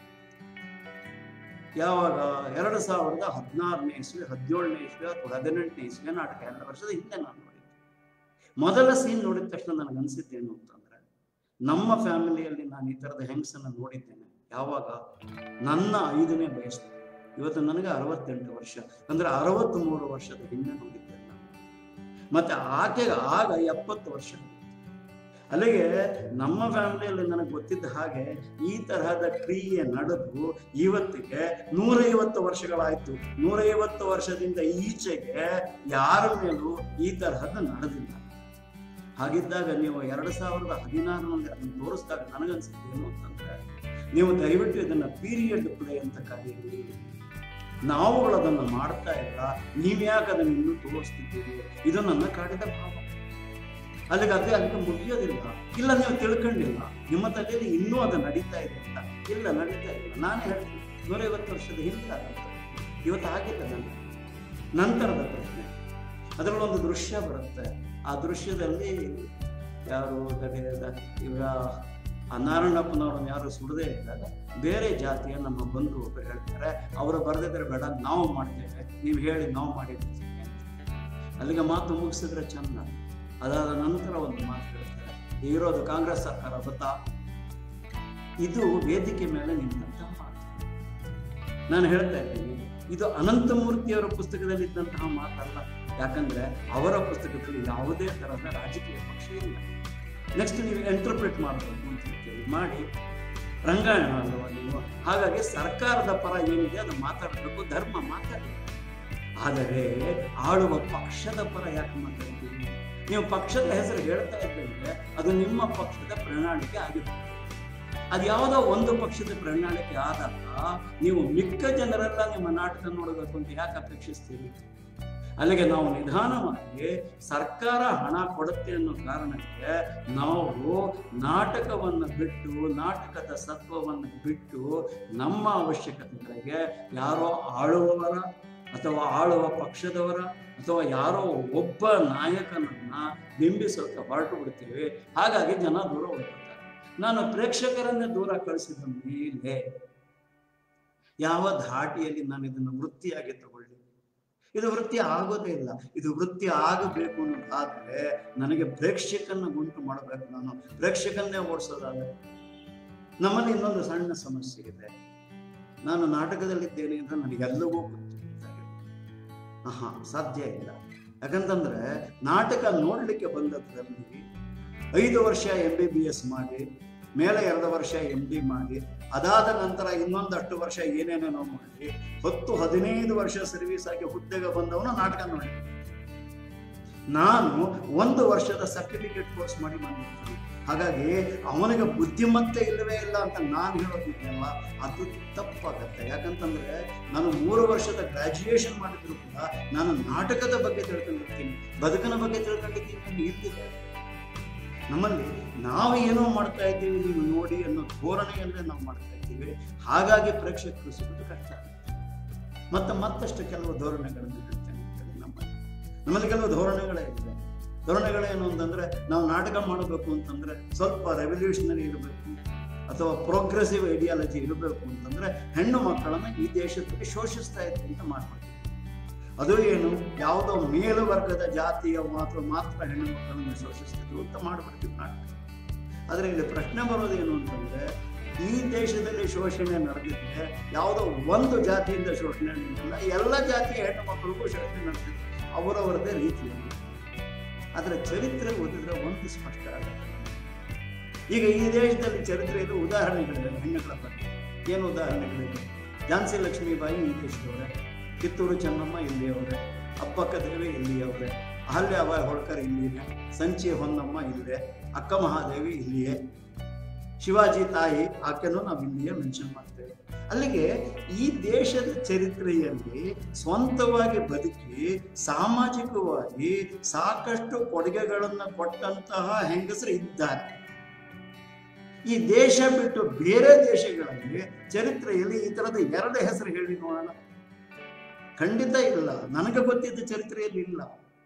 ಹಾಗಿದ್ದಾಗ ಇದೇನು ಈ ದೇಶದಲ್ಲಿ ಹೆಂಗಸರು ಶೋಷಣೆ ಹೆಂಗಸರು ಶೋಷಣೆ? ಯಾವುದೋ ಒಂದು ಕಾಲದಲ್ಲಿ ಆಗಿರಲಿಲ್ಲ ಅಂತಲ್ಲ. ಒಂದು ಕಾಲದಲ್ಲಿ ಇಲ್ಲಿ ಸ್ವಚ್ಛಂದವಾದ ವಾತಾವರಣವಿತ್ತು ಎಲ್ಲರೂ ಸಮರಾಗಿದ್ದರು. ನಂತರ ಆಡಳಿತಗಳಲ್ಲಿ ಬದಲಾವಣೆಗಳಾಗ್ತಾ ಇದ್ದ ಹಾಗೆ ಹೆಂಗಸರಿಗೆ ಇದು ಅನ್ಸೇಫ್ ಅನ್ಸಿರ್ಬೋದು. ಹಾಗಾಗಿ ಅವರ ನೇಪಥ್ಯಕ್ಕೆ ಸರಿದಿರ್ಬೋದು ನೀವು ಚಾರಿತ್ರಿಕವಾಗಿ ಅದನ್ನ ಗುರುತು ಹಿಡಿದೆ ಹೆಂಗಸರನ್ನ ಇಲ್ಲೆಲ್ಲ ಶೋಷಣೆ ಮಾಡ್ತಾ ಇದ್ರು. ನಾವಿವಾಗ ವೆಸ್ಟರ್ನ್ ಕಲ್ಚರ್ ಅನ್ನು ತಗೊಂಡು ಬಂದು ಹೆಂಗಸರಿಗೆ ಸ್ವಾತಂತ್ರ್ಯ ಕೊಡ್ತೀನಿ ಅಂತ ತೋರಿಸಿದ್ರೆ ಚರಿತ್ರೆ ಗೊತ್ತಂತಹ ನನ್ನಂತವನಿಗೆ ಏನಾಗುತ್ತೆ? ಸುಳ್ಳು ಹೇಳ್ತಾ ಇದ್ದೀರಿ ಅನ್ಸುತ್ತೆ. ನಾಳೆ ನಾ ನಾಟಕ ನೋಡ್ಲಿಕ್ಕೆ ನಾನು ಪ್ರಶ್ನೆ ಆದ ಇಲ್ಲೇ. ನನ್ನ ಹಾಗೆ ಇನ್ನೆಷ್ಟೋ ಸ್ಪೆಕ್ಟೇಟರ್ಸ್ ಇರ್ಬೋದು. ಅವರಿಗೆ ಚರಿತ್ರೆ ಸತ್ಯವಾಗಿ ಏನು ಅಂತ ನಮಗಿಂತ ನಾಟಕದವರಿಗಿಂತ ಹೆಚ್ಚಿನ ಚರಿತ್ರೆ ಗೊತ್ತಿರ್ಬೋದು ಆ ತರದವರು ನೀವು ಹೇಳಿದ ಕೂಡಲೇ ಇದು ನಿಮ್ಮ ಧೋರಣೆ ಅಂತ ಕರಿತಾ ಹೊರಟು ಈ ಧೋರಣೆಗಳಿಂದ ನಾವು ಸ್ಪೆಕ್ಟೇಟರ್ಸ್ನ ಕಳ್ಕೊಂತೀವಿ ಅದು ಒಂದು ಭಾಗ. ಮೂರನೇದು, ಈ ದೇಶದಲ್ಲಿ ಇನ್ನೊಂದಷ್ಟು ಕಾಡ್ತೇವೆ ನಾವು. ನಮ್ಮಲ್ಲಿ ಕಾಡುವಷ್ಟು ಇದೆಯಲ್ಲ ಅದು ಸ್ವಂತನವನ್ನು ಬೈಕೊಳ್ಳೋದು. ನಾವು ಅಯೋಗ್ಯರು ಅಂತ ಬೈಕೊಳ್ಳುವಷ್ಟು ಈ ದೇಶದಲ್ಲಿ ಬೇರೆ ಯಾವ ದೇಶದವರು ಬೈಕೊಂಡಿಲ್ಲ. ನಾವಲ್ಲಿ ಹೇಳ್ತೇನೆ, ಇಲ್ಲಿ ಸಹಗಮನ ಇತ್ತು ಅಂತ. ಹೌದು, ಇತ್ತು. ಈ ದೇಶದಲ್ಲಿ ಚರಿತ್ರೆ ಪ್ರಕಾರ ಮೂರು ಜೋಹರ್ ಅಂತ. ಮೂರು ಜೋಹರ್ ಅಂತಂದ್ರೆ ಮೂರು ಮೇವಾಡದಲ್ಲೇ ಅಂದ್ರೆ ರಾಣಿ ವಾಸದವರು ದಾಳಿಗೆ ಬಂದಂತಹ ಬೇರೆ ದೇಶದ ರಾಜ, ಹಾಸಿಗೆಗೆ ತಮ್ಮನ್ನು ಇಳಿಬಾರದು ಅನ್ನೋ ಕಾರಣಕ್ಕೆ ಜೋಹರ್. ಕಟ್ಟಿಕೊಂಡ ರಾಜ ಸೋತ, ಬೇರೆ ದೇಶದಿಂದ ಬಂದಂತಹ ರಾಜ, ತನ್ನನ್ನು ಹಾಸಿಗೆಗೆ ಇಳಿಬಾರದು. ಬೇರೆ ಯಾವುದೇ ಕಾರಣಕ್ಕಲ್ಲ, ದಾಸ್ಯಕ್ಕಲ್ಲ ಅವರು ಹೆದರಿದ್ದು, ಕ್ರೌರ್ಯಕ್ಕೆ ಹೆದರಿದ್ದು. ಅದು ಮೂರು ಆದದ್ದು ಯಾವಾಗ ಮೇವಾಡದಲ್ಲಿ ಆಯ್ತಂತೆ. ಮೂರರಲ್ಲಿ ಒಂದು ಕೂತ್ಕೊಳ್ಳುತ್ತೆ. ಮೊದಲು ಖಿಲ್ಜಿ ಆಕ್ರಮಣದ ನಂತರ ಪದ್ಮಾವತಿ, ಇತ್ತೀಚೆಗೆ ಫಿಲಂ ಮಾಡಲು. ಅದಾದ್ಮೇಲೆ ಬಹದ್ದೂರ್ ಶಾ ಜಫರ್ ಅವರ ಕಾಲದಲ್ಲಿ ಕರ್ಣಾವತಿ ನಂತರ ಅಕ್ಬರನ ಕಾಲದಲ್ಲಿ ರಾಜ ಉದಯ, ರಾಣ ಉದಯ ಸಿಂಗ್ ಮತ್ತೆ ರಾಣಿ ಮಾಸ ಈ ಮೂರು ಕೂಡ ಜೋಹರ್ ಆದದಕ್ಕೆ ಕಾರಣವಿದೆ. ಅದಕ್ಕೆ ಮುಂಚೆ ಜೋಹರ್ಗಳಾದದ್ದಲ್ಲ ಅದರ ನಂತರವೂ ಆಗಿಲ್ಲ. ಇದು ಮೂರು ಮಾತ್ರ ಆಗಿರುತ್ತೆ. ಈ ಮೂರೂ ಜಾಗದಲ್ಲಿ ಆದದ್ದು ಯಾರೋ ಬೇರೆ ದೇಶದ ರಾಜ, ಅಂದ್ರೆ ಬೇರೆ ಪಂಗಡ, ಬೇರೆ ಗುಂಪು, ಅವರು ಇಲ್ಲಿಗೆ ಬಂದಾಗ, ನಮ್ಮ ರಾಜ ಸೋತಾಗ ಹಾಸಿಗೆ ನಮ್ಮನ್ನು ಇಳಿಬಾರ್ದು ಅನ್ನೋ ಕಾರಣಕ್ಕೆ ಹೋದದ್ದು. ನಂತರ ಸಹಗಾಮಿಗಳು ಅಲ್ಲಿದ್ದು ಇಲ್ಲಿದ್ದು ಹೇಳ್ತಾರೆ. ಆದರೆ ಇಷ್ಟೇ ಹೇಳಿದ್ರು ಕೂಡ ಅಲ್ಲೇ ಹೊಳಬಾಯಿ ಹೋಳ್ಕರ್ನ ಚರಿತ್ರೆಯಲ್ಲಿ ನೀವು ನೋಡುತ್ತೆ, ಆಕೆ ಗಂಡ ಸತ್ತಾಗ ಆಕೆ ಸಹಗಮನಕ್ಕೆ ಸಿದ್ಧವಾಗಿತ್ತು ಅವರ ಮಾವ ಆಕೆ ಹೇಳ್ತಾನೆ, ನೀನು ಸಹಗಮನ ಆಗಿ ಹೋಗಿ ಬಿಟ್ಟರೆ ರಾಜ್ಯ ಆಳವರು ಯಾರು? ಮುಂದೆ ನಿನ್ನ ಮಗನ ಯಾರೋ ಬಹಳ ಸಣ್ಣವನಿದ್ದಾನೆ ಅಡ್ಮಿನಿಸ್ಟ್ರೇಷನ್ ನಿನಗೆ ಗೊತ್ತಿರುವಷ್ಟು ಬೇರೆ ಯಾರಿಗೂ ಗೊತ್ತಿಲ್ಲ. ಹಾಗಾಗಿ ನೀನು ದಯವಿಟ್ಟು ಉಳ್ಕೋ. ಹಾಗಾಗಿ ಹಾಗೆ ಉಳ್ಕೊಂಡು ಅಲ್ಲಿಗೆ ಇಲ್ಲಿ ಎಕ್ಸೆಪ್ಷನ್ಸ್ ಇಲ್ಲ ಅಂತಲ್ಲ. ನಾನು ಹೇಳ್ತಾ ಇರೋದು, ಉದ್ದಕ್ಕೂ ನಾವು ನಾಟಕ ಮಾಡ್ತಾ ಅದರ ಕಂಟೆಂಟ್ ಅಲ್ಲಿ. ನಾಟಕದ ಹೂರಣದಲ್ಲಿ ನಾವು ಈ ದೇಶದವರೆಲ್ಲ ಯೋಗ್ಯರು. ಹೊರಗಿನಿಂದ ಯಾವುದೋ ಒಂದು ನಾಲೆಡ್ಜ್ ಬಂದು ಅದನ್ನ ಹೇಳಿ ಅದರೊಟ್ಟಿಗೆ ನಾವು ಉಜ್ಜಿಕೊಂಡು ನಾವೇನೋ ಆಗ್ತೀವಿ ಅನ್ನೋ ತರಹದ್ದೇ ನೀವು ಹೇಳ್ತಾ ಇದ್ದೀರ? ಸ್ವಲ್ಪ ದಿನ ಯಾರೂ ಕೇಳಿಯಾರು ಸ್ವಲ್ಪ ದಿನ ಆದ ಮೇಲೆ ಕಾಸು ಕೊಟ್ಟು ಸುಮ್ಮನೆ ಬಯಸ್ಕೊಳ್ಳಕ್ಕೆ ನಾಟಕಕ್ಕೆ ಯಾಕೆ ಅಂತಂದು ಬರೋದು. ಹಾಗಾಗಿ ಎಲ್ಲೋ ಒಂದು ಸ್ಪೆಕ್ಟೇಟರ್ಸ್ ನಾವು ದೂರ ಕಳಿಸಿದ್ದು ಕೂಡ ಅದೇ ಜಾಗ ನಂತರದ ಪ್ರಶ್ನೆ ಹೇಳ್ತೀನಿ. ಇಲ್ಲಿ ನಾವು ಫೆಸ್ಟಿವಲ್ಸ್ ಮಾಡ್ತೀವಿ ಫೆಸ್ಟಿವಲ್ಸ್ಗೆ ಸರ್ಕಾರದ್ದೇ ಹಣ ಕೊಡುತ್ತೆ ಇಲ್ಲಿ ಆಗುವಂತಹ ಫೆಸ್ಟಿವಲ್ ಕಲಾಕ್ಷೇತ್ರದಲ್ಲಿ ಆಗುವಂತಹ ಫೆಸ್ಟಿವಲ್ ಬರುವ ನಾಟಕಗಳೊಂದಿಗೆ ಮಣಿಪುರ, ರಾಜಸ್ಥಾನ, ಅಸ್ಸಾಂ ಇಲ್ಲಿಯವರ ನಾಟಕ ಯಾವುದೋ ಒಂದು ಬಂತು ಅಂದ್ರೆ ನನ್ನ ಪರಿಚಯದವನು ಮಂಗಳೂರಿನಲ್ಲಿ ಪಾಪ. ಅವನ ನಾಟಕ ಯಾವುದೋ ಇಲ್ಲಿಗೆ ಬಂದಾಗ ಅವಕಾಶ ಕೊಟ್ಟರು. ಏನು ಅಂದ್ರೆ ಸಂಜೆ ಐದೂವರೆನಲ್ಲಿ ಮೆಟ್ಲ ಮೇಲೆ ಆಡಿ ಹೋಗುತ್ತಾರೆ. ಅಲ್ಲಿಗೆ ನಾವು ಈ ಸರ್ಕಾರದ ಹಣ ತಗೊಂಡು ಇಲ್ಲಿ ಅದನ್ನ ಪ್ರಮೋಟ್ ಮಾಡೋದು ಬಿಟ್ಟು ಅಲ್ಲಲ್ಲಿದ್ದು ಕರೆಸ್ತೀವಿ. ಯಾವ ಕರ್ಮಕ್ಕೆ? ಅದಕ್ಕೊಂದು ಗಾಢವಾದ ಉತ್ತರ ಕೊಡ್ಬೋದು. ಏನಂದ್ರೆ ಬೇರೆ ಬೇರೆ ಕಲ್ಚರ್ಗಳನ್ನು ನಾವು ಎಕ್ಸ್ಪೋಸ್ ಆಗಬಹುದು. ಬೇರೆ ಬೇರೆ ರಾಜ್ಯದಲ್ಲಿ ಏನಾಗ್ತಾ ಇದೆ ನೋಡಬಹುದು ಖಂಡಿತ ಹೋಗ್ತೀನಿ. ಅಕ್ಕಪಕ್ಕದ ಮನೆಯವರಿಗೆಲ್ಲ ಊಟ ಹಾಕಬೇಕು, ಹೋಗ್ತೇನೆ. ಆದರೆ ನನ್ನ ಮನೆ ಮಕ್ಕಳಿಗೆ ಮೊದಲು ಅವ್ರ ತಟ್ಟೆಗೆ ಏನಾದ್ರು ಒಂದಿಷ್ಟು ಗಂಜಿ ಸುರಿದು ನಂತರ ಅಲ್ವಾ ಬೇರೆಯವ್ರಿಗೆ ನಾನು ಹಾಕ್ಬೇಕಂತ? ಅಲ್ಲಿ ಇಲ್ಲಿ ಬೇರೆ ಏನೋ ಮಾಡಿ ಕೂತರ ಅನ್ನೋ ವ್ಯವಹಾರವ ಅಂತ ನನಗೆ ಅನುಮಾನ ಆಗುತ್ತೆ. ಸುಳ್ಳಿರಬಹುದು, ನಾನು ಇಲ್ಲ ಅಂತ ಹೇಳ್ತಾ ಇಲ್ಲ. ಅದರ ಪ್ರಶ್ನೆ ಏನು ಅಂತಂದ್ರೆ ಅನುಮಾನಗಳ ಆಸ್ಪದ ಆಗುತ್ತೆ ಹಾಗಾಗಿ ಇಲ್ಲಿ ಏನಾಗಿದೆ? ಸರ್ಕಾರದಿಂದ ಬಂದದ್ದು ನಮ್ಮೊಟ್ಟಿಗೆ ನಿಲ್ಲಲ್ಲ. ನಾವು ಆರಿಸಿಕೊಂಡ ಕಂಟೆಂಟ್ಸ್ ಇಂದ ಸ್ಪೆಕ್ಟೇಟರ್ಗಳು ನಮ್ಮೊಟ್ಟಿಗೆ ಬೆಳೆಯಲಿಲ್ಲ ನಮ್ಮ ತಯಾರಿ ಇರೋದು ಒಂದು ವರ್ಷ ಅಥವಾ ಎರಡು ವರ್ಷದ ತಯಾರಿ. ಬಹಳ ಅಮೆಚೂರಿಷ್ ಆಗಿ ಮಾಡ್ಕೊಂಡಿರ್ತೀವಿ ಅದರ ಮೇಲೆ ನಾನು ಜೀವನ ಪರ್ಯಂತ ದುಡಿಯುವಷ್ಟನ್ನ ಮಾಡ್ಕೋತೀನಿ ಅನ್ನೋದಿದೆಯಲ್ಲ ಅದೇ ದಡ್ಡತನ ಆಗುತ್ತೆ. ದುಡಿಲಿಕ್ಕೆ ಸಾಧ್ಯನೇ ಇಲ್ಲ. ಅಫ್ಕೋರ್ಸ್ ಮೊನ್ನೆ ಕೋವಿಡ್ ನೈನ್ಟೀನ್ ಆದಾಗ ಈ ಪ್ರಶ್ನೆ ಬಂತು. ಯಾಕಂದ್ರೆ ರಂಗಭೂಮಿ ನಿಂತೋಗಿದೆ, ಹಾಗಾಗಿ ಕಲಾವಿದರ ಹತ್ರ ಕಾಸಿಲ್ಲ. ಹಾಗಾಗಿ ಕಲಾವಿದರಿಗೆ ಜೀವನ ಆಗಬೇಕು. ಹಾಗಾಗಿ ಅವರು ದೊಡ್ಡ ಲಿಸ್ಟ್ ಎಲ್ಲ ಮಾಡಿಸಿ ಅದೇನೋ ಎರಡು ಸಾವಿರ ಜನಕ್ಕೆ ಎರಡೆರಡು ಸಾವಿರ. ದುರಂತ ನೋಡಿ ಎರಡು ಸಾವಿರದಲ್ಲಿ ಬದುಕಾಗತ್ತಾ? ಅದು ಒಂದು ಭಾಗ. ಎರಡನೇದೇನು? ಈ ಎರಡು ಸಾವಿರಕ್ಕೆ ನಾನು ಕೈ ಚಾಚ್ತೀನಿ ಅಂತಂದ್ರೆ ಇಷ್ಟು ದಿನ ರಂಗಭೂಮಿಯಲ್ಲಿ ನಾನು ಇಷ್ಟೂ ದುಡ್ದಿಲ್ಲ ಅಂತ ಆಗಿದೆ ಸತ್ಯವಾಗಿ ಇದು ರಂಗಭೂಮಿ ಮುಚ್ಚಿದ್ದ ಕಲ್ಲ ತೊಂದರೆ ಆಗುತ್ತೆ ಸೀರಿಯಲ್ಗಳು ನಿಂತದ್ದು ಹಾಗಾಗಿ ತೊಂದರೆ ಆಯಿತು. ಯಾಕಂದ್ರೆ ಇಲ್ಲಿ ಎಲ್ಲರೂ ವೃತ್ತಿಪರವಾಗಿ ತಗೊಂಡ ಒಂದು ಮುಕ್ಕಾಲು ಮೂರು ವಾಸಿ ಜನ ಚಾನಲ್ಗಳೊಟ್ಟಿಗೆ ಅಸೋಸಿಯೇಟ್ ಆಗಿರ್ತಾರೆ ಅಥವಾ ಸೀರಿಯಲ್ ಜೊತೆ ಅಸೋಸಿಯೇಟ್ ಆಗಿರ್ತಾರೆ ಅಲ್ಲಿಂದ ಜೀವನ ನಡೀತಾ ಇರುತ್ತೆ. ರಂಗಭೂಮಿಯಿಂದ ಈ ಕಳೆದ ಹದಿನೈದು ವರ್ಷದಲ್ಲಿ ಸ್ಪೆಕ್ಟೇಟರ್ಸ್ ಕಾಸ್ ತಗೊಂಡು, ಅಂದ್ರೆ ಟಿಕೆಟ್ಗಳನ್ನು ಮಾರಿ ಬಂದಂತಹ ಹಣದಲ್ಲಿ ಯಾರಾದರೂ ಜೀವನ ಮಾಡಿದೀವಿ ಅಂತಂದ್ರೆ ಖಂಡಿತ ಸುಳ್ಳು ಇಲ್ಲ, ಸರ್ಕಾರದಿಂದ ಬಂದಿರಬೇಕಾಗತ್ತೆ ಅಥವಾ ನಾನು ಯಾವುದೋ ಸ್ಪಾನ್ಸರ್ಗಳು ಹಿಡಿದಿರ್ಬೇಕಾಗತ್ತೆ, ಇಲ್ಲ, ಯಾವುದೋ ಸೀರಿಯಲ್ ಡಬ್ಬಿಂಗ್ ಇಟ್ಕೊಂಡು ನಾನು ಜೀವನ ಮಾಡಿರ್ಬೇಕಾಗತ್ತೆ. ಹಾಗಾಗಿ ಇವತ್ತಿನ ಪರಿಸ್ಥಿತಿಯಲ್ಲಿ ನನ್ನ ದೃಷ್ಟಿಯಲ್ಲಿ ವೈಯಕ್ತಿಕವಾಗಿ ಈ ರಂಗಭೂಮಿ ವೃತ್ತಿಯಾಗಿ ಸಾಧ್ಯ ಆಗದ ಪ್ರಶ್ನೆ ಪ್ರವೃತ್ತಿಯಾಗಿ ತಗೊಳ್ಬಹುದು. ವೃತ್ತಿ ಆಗೋದೇ ಇಲ್ವಾ? ಆಗತ್ತೆ, ವೃತ್ತಿ ಆಗತ್ತೆ. ಯಾವಾಗ ವೃತ್ತಿ ಆಗಬಹುದು? ತಯಾರಿ ಬೇಕು ನನಗೆ. ಅಲ್ಲಿ ಏನಾಗುತ್ತೆ? ಎಲ್ಲೇ ನಾನು ಟ್ರೈನಿಂಗ್ ತಗೊಂಡು ಬಂದರೂ ಕೂಡ ನಾನು ಟ್ರೈನಿಂಗ್ನಲ್ಲಿ ಇದ್ದಾಗ ನನಗೆ ತರಬೇತಿ ಕೊಡಬೇಕಾದ್ರೆ ಎರಡು ಅಥವಾ ಮೂರು ನಾಟಕ ಮಾಡಿಸ್ತಾರೆ ಅದಾದ ನಂತರ ಒಂದು ವರ್ಷ ಅವರೊಟ್ಟಿಗೆ ಅಸೋಸಿಯೇಟ್ ಆಗ್ತಾನೆ, ಮತ್ತೆ ಅದೇ ಎರಡು ಮೂರು ನಾಟಕ ಮಾಡ್ತೀನಿ. ವಾಪಸ್ ಇಲ್ಲಿ ಬಂದ ಮೇಲೆ ನಾನು ಪ್ರೊಡಕ್ಷನ್ ಮಾಡಿದ್ರು ಕೂಡ ಅದೇ ಎರಡು ಮೂರು ನಾಟಕ ಮಾಡ್ತೇನೆ, ನಾಲ್ಕನೇ ನಾಟಕ ಬರೋದೇ ಇಲ್ಲ. ಅಲ್ಲಿಗೆ ಸ್ವಂತಕ್ಕೆ ನಾನೇನು ಹುಟ್ಟು ಹಾಕಬಲ್ಲೆ ಅನ್ನೋ ಚೈತನ್ಯವನ್ನ ನನಗೆ ಕೊಡ್ತಾ ಇರೋ ತರಬೇತಿಗಳು ಉಂಟು ಮಾಡ್ತಾ ಇಲ್ಲ. ಅಂದ್ರೆ ಎಂ ಬಿ ಬಿ ಎಸ್ ಮಾಡಿ ಡಾಕ್ಟ್ರು ಆಚೆಗೆ ಬಂದಿದ್ದಾನೆ. ಎಂ ಡಿನೂ ಮಾಡಿದ್ದಾನೆ ಸರ್ಜನ್ಸಿನೂ ಮಾಡಿದ್ದಾನೆ, ಆದರೆ ಅವನಿಗೆ ಆಪರೇಷನ್ ಮಾಡೋದಕ್ಕೆ ಬರುತ್ತೆ ಅಲ್ಲಿ ಅಕಸ್ಮಾತ್ ಯಾವುದೋ ಒಂದು ಆಪರೇಷನ್ ಹೇಳ್ಕೊಟ್ಟಿದ್ರೆ ಅದೇ ಆಪರೇಷನ್ ಇಲ್ಲಿ ಮುಂದುವರಿಸ್ತಾನೆ. ಅಲ್ಲಿ ಏನಾಗುತ್ತೆ? ಅವನು ಸಂಪೂರ್ಣವಾಗಿ ಸರ್ಜನ್ ಕೊಡೋದಕ್ಕೆ ಸಾಧ್ಯ. ಹಾಗಿದ್ದಾಗ ನನಗೆ ಕೊಡುವಂತಹ ಟ್ರೈನಿಂಗ್ ಅದು ಕೂಡ ನನ್ನನ್ನು ಸರ್ವತೋಮುಖವಾಗಿ ಬೆಳೆಸಿದ್ರು. ಎರಡನೇದು, ಇಲ್ಲಿಯ ಕಲ್ಚರ್ ಬಗ್ಗೆ ಸ್ಪಷ್ಟವಾದ ಅರಿವಿರಬೇಕು ಇಲ್ಲಿಯ ಕಲ್ಚರ್ ಬಗ್ಗೆ ಸ್ಪಷ್ಟವಾಗಿ ಅರಿವಿದ್ದರೆ ಯಾಕಂದ್ರೆ ನೀವು ಒಪ್ತೀರಾ ಬಿಡ್ತೀರಾ ಅದು ಬೇರೆ. ಆದರೆ ಈ ದೇಶದಲ್ಲಿ ಅಥವಾ ಈ ರಾಜ್ಯದಲ್ಲಿ ಇರುವ ಸಾಮಾನ್ಯ ಪ್ರಜೆಗಳು ಬುದ್ಧಿವಂತರಿರ್ತಾರೆ ಅವರುಗಳು ಓದ್ಕೊಂಡಿರ್ತಾರೆ. ಹಾಗಾಗಿ ಅವರಿಗೆ ಅವರ ಪ್ರಜ್ಞೆಯಲ್ಲಿ ಇಲ್ಲಿಯ ಕಲ್ಚರ್ ಗೊತ್ತಿರುತ್ತೆ. ಮತ್ತೆ ನೀವು ಚರಿತ್ರೆಯಲ್ಲಿ ಏನೇ ಪಾಠ ಮಾಡಿ, ಇಲ್ಲಿಯ ನಿಜವಾದ ಚರಿತ್ರೆ ಏನು ಅಂತ ಗೊತ್ತಿರುತ್ತೆ. ಅಷ್ಟನ್ನ ತಿಳ್ಕೊಂಡು ಅದನ್ನ ಬಿಂಬಿಸುವಂತಹ ಪೂರಣ ಇರುವಂತಹ ನಾಟಕಗಳನ್ನು ಮಾಡಿದರೆ ಮುಂದುವರಿ ಮೊನ್ನೆ ಯಾವುದೋ ಹೀಗೆ ಫೇಸ್ಬುಕ್ ಅಲ್ಲಿ ನೋಡಬೇಕಾದ್ರೆ ಯಾರು ಹೇಳ್ತಾ ಇದ್ವಿ ನಾವು ರಂಗಭೂಮಿಯವರು ನಮ್ಮನ್ನ ಸಾಕಬೇಕು ಸರ್ಕಾರ. ನಾವು ದಿಕ್ಸೂಚಿಗಳು ಸೊಸೈಟಿಗೆ, ಸೊಸೈಟಿ ಅಂದ್ರೆ ಸಮಾಜವನ್ನ ಸ್ವಚ್ಛ ಮಾಡ್ತೇವೆ ಅನ್ನೋ ಕಾನ್ಸೆಪ್ಟ್ ಅಲ್ಲಿ ಮಾತಾಡ್ತಾ ಇದ್ರು. ಸಮಾಜವನ್ನ ನಾವು ಸ್ವಚ್ಛ ಮಾಡ್ತೇವೆ. ಖಂಡಿತ ಇಲ್ಲ ಈಗ ನನಗೆ ಗೊತ್ತಿದ್ದ ಹಾಗೆ ರಂಗಭೂಮಿಯೊಟ್ಟಿಗೆ ಅಸೋಸಿಯೇಟ್ ಆಗಿರೋ ಯಾರೂ ಕೂಡ ಸಮಾಜವನ್ನ ಸ್ವಚ್ಛ ಮಾಡುವ ದೃಷ್ಟಿಕೋನದಲ್ಲಿ ಈ ಕೆಲಸ ಮಾಡ್ತಾ ಇದ್ದಾರೆ ಅಂತ ನನ್ನ ಪರಿಚಯದ ವಲಯದಲ್ಲಿ ನನಗೆ ಖಂಡಿತ ಅನ್ಸಲ್ಲ. ಮತ್ತೆ ಅಷ್ಟು ಚೈತನ್ಯವಿದೆಯಾ ಅಂತ ಕೇಳಿದ್ರೆ ಹೇಳ್ತೀನಿ ಕೇಳಿ.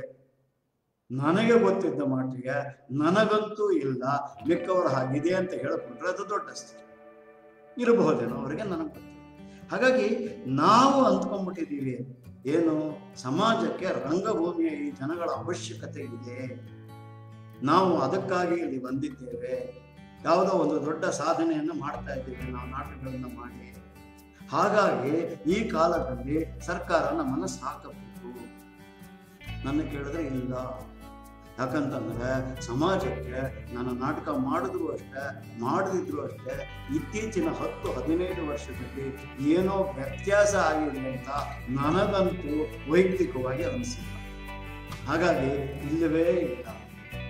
ಅಂದರೆ ಆ ಸ್ಟೇಜರ್ಗೆ ನಾವಿಲ್ಲಿ ಬೆಳೆದೇ ಇಲ್ಲ. ನಾವಲ್ಲಿಗೆ ಬೆಳೆದರೆ ಬೆಳೆದ ನಂತರ ಪ್ರಾಬಬ್ಲಿ ಆಗಬಹುದು ಊರ ಜಾತ್ರೆ ನಿಂತೋದ್ರೆ ಮನಸ್ಸಿಗೆ ಹುಳ್ಳು ಅನ್ಸುತ್ತೆ. ಯಾವುದೋ ಒಂದು ಹಬ್ಬ ನಿಂತೋದ್ರೆ ಮನಸ್ಸಿನಲ್ಲಿ ಏನೋ ಒಂದು ಕಸರಿಸಿ ಮಾಡುತ್ತೆ ಆದರೆ ಒಂದು ವರ್ಷ ನಾಟಕವೇ ಆಗ್ತಿತ್ತು. ನನಗೇನು ಅನ್ಸಲ್ಲ. ಅಂದ್ರೆ ಐ ಡೋಂಟ್ ಮಿಸ್ ಎನಿಥಿಂಗ್ ಅಂದ್ರೆ ಮಿಸ್ ಮಾಡ್ತೀನಿ. ಅಂದ್ರೆ ಇಂಥದ್ರಿಂದ ನಾನು ವಂಚಿತನ ಅದೇ ಅನ್ನಿಸುವಂತಹದ್ದೇನು ಈ ರಂಗಭೂಮಿಯಲ್ಲಿ? ಇತ್ತೀಚಿನ ವರ್ಷಗಳಲ್ಲಿ ನನಗೆ ಗೊತ್ತಿದ್ದ ಮಟ್ಟಿಗೆ ಆಗಿಲ್ಲ. ಹಾಗಿದ್ದಾಗ ನಾವು ಬಹಳ ಮುಖ್ಯ ಅನ್ನೋದನ್ನ, ಮುಖ್ಯ ಆಗೋದಕ್ಕೆ ಮೊದಲೇ ಅನ್ಕೋತಾ ಇದ್ದೀವಿ. ಮೊದಲು ನಾವು ಮುಖ್ಯ ಆಗಬೇಕ ನನಗನ್ಸ್ದಂಗೆ ನಾನು ಇನ್ನೂ ಅಷ್ಟು ಮುಖ್ಯ ಆಗಿಯೇ ಇಲ್ಲ. ಹಾಗಾಗಿ ಅದರ ಪ್ರಶ್ನೆ.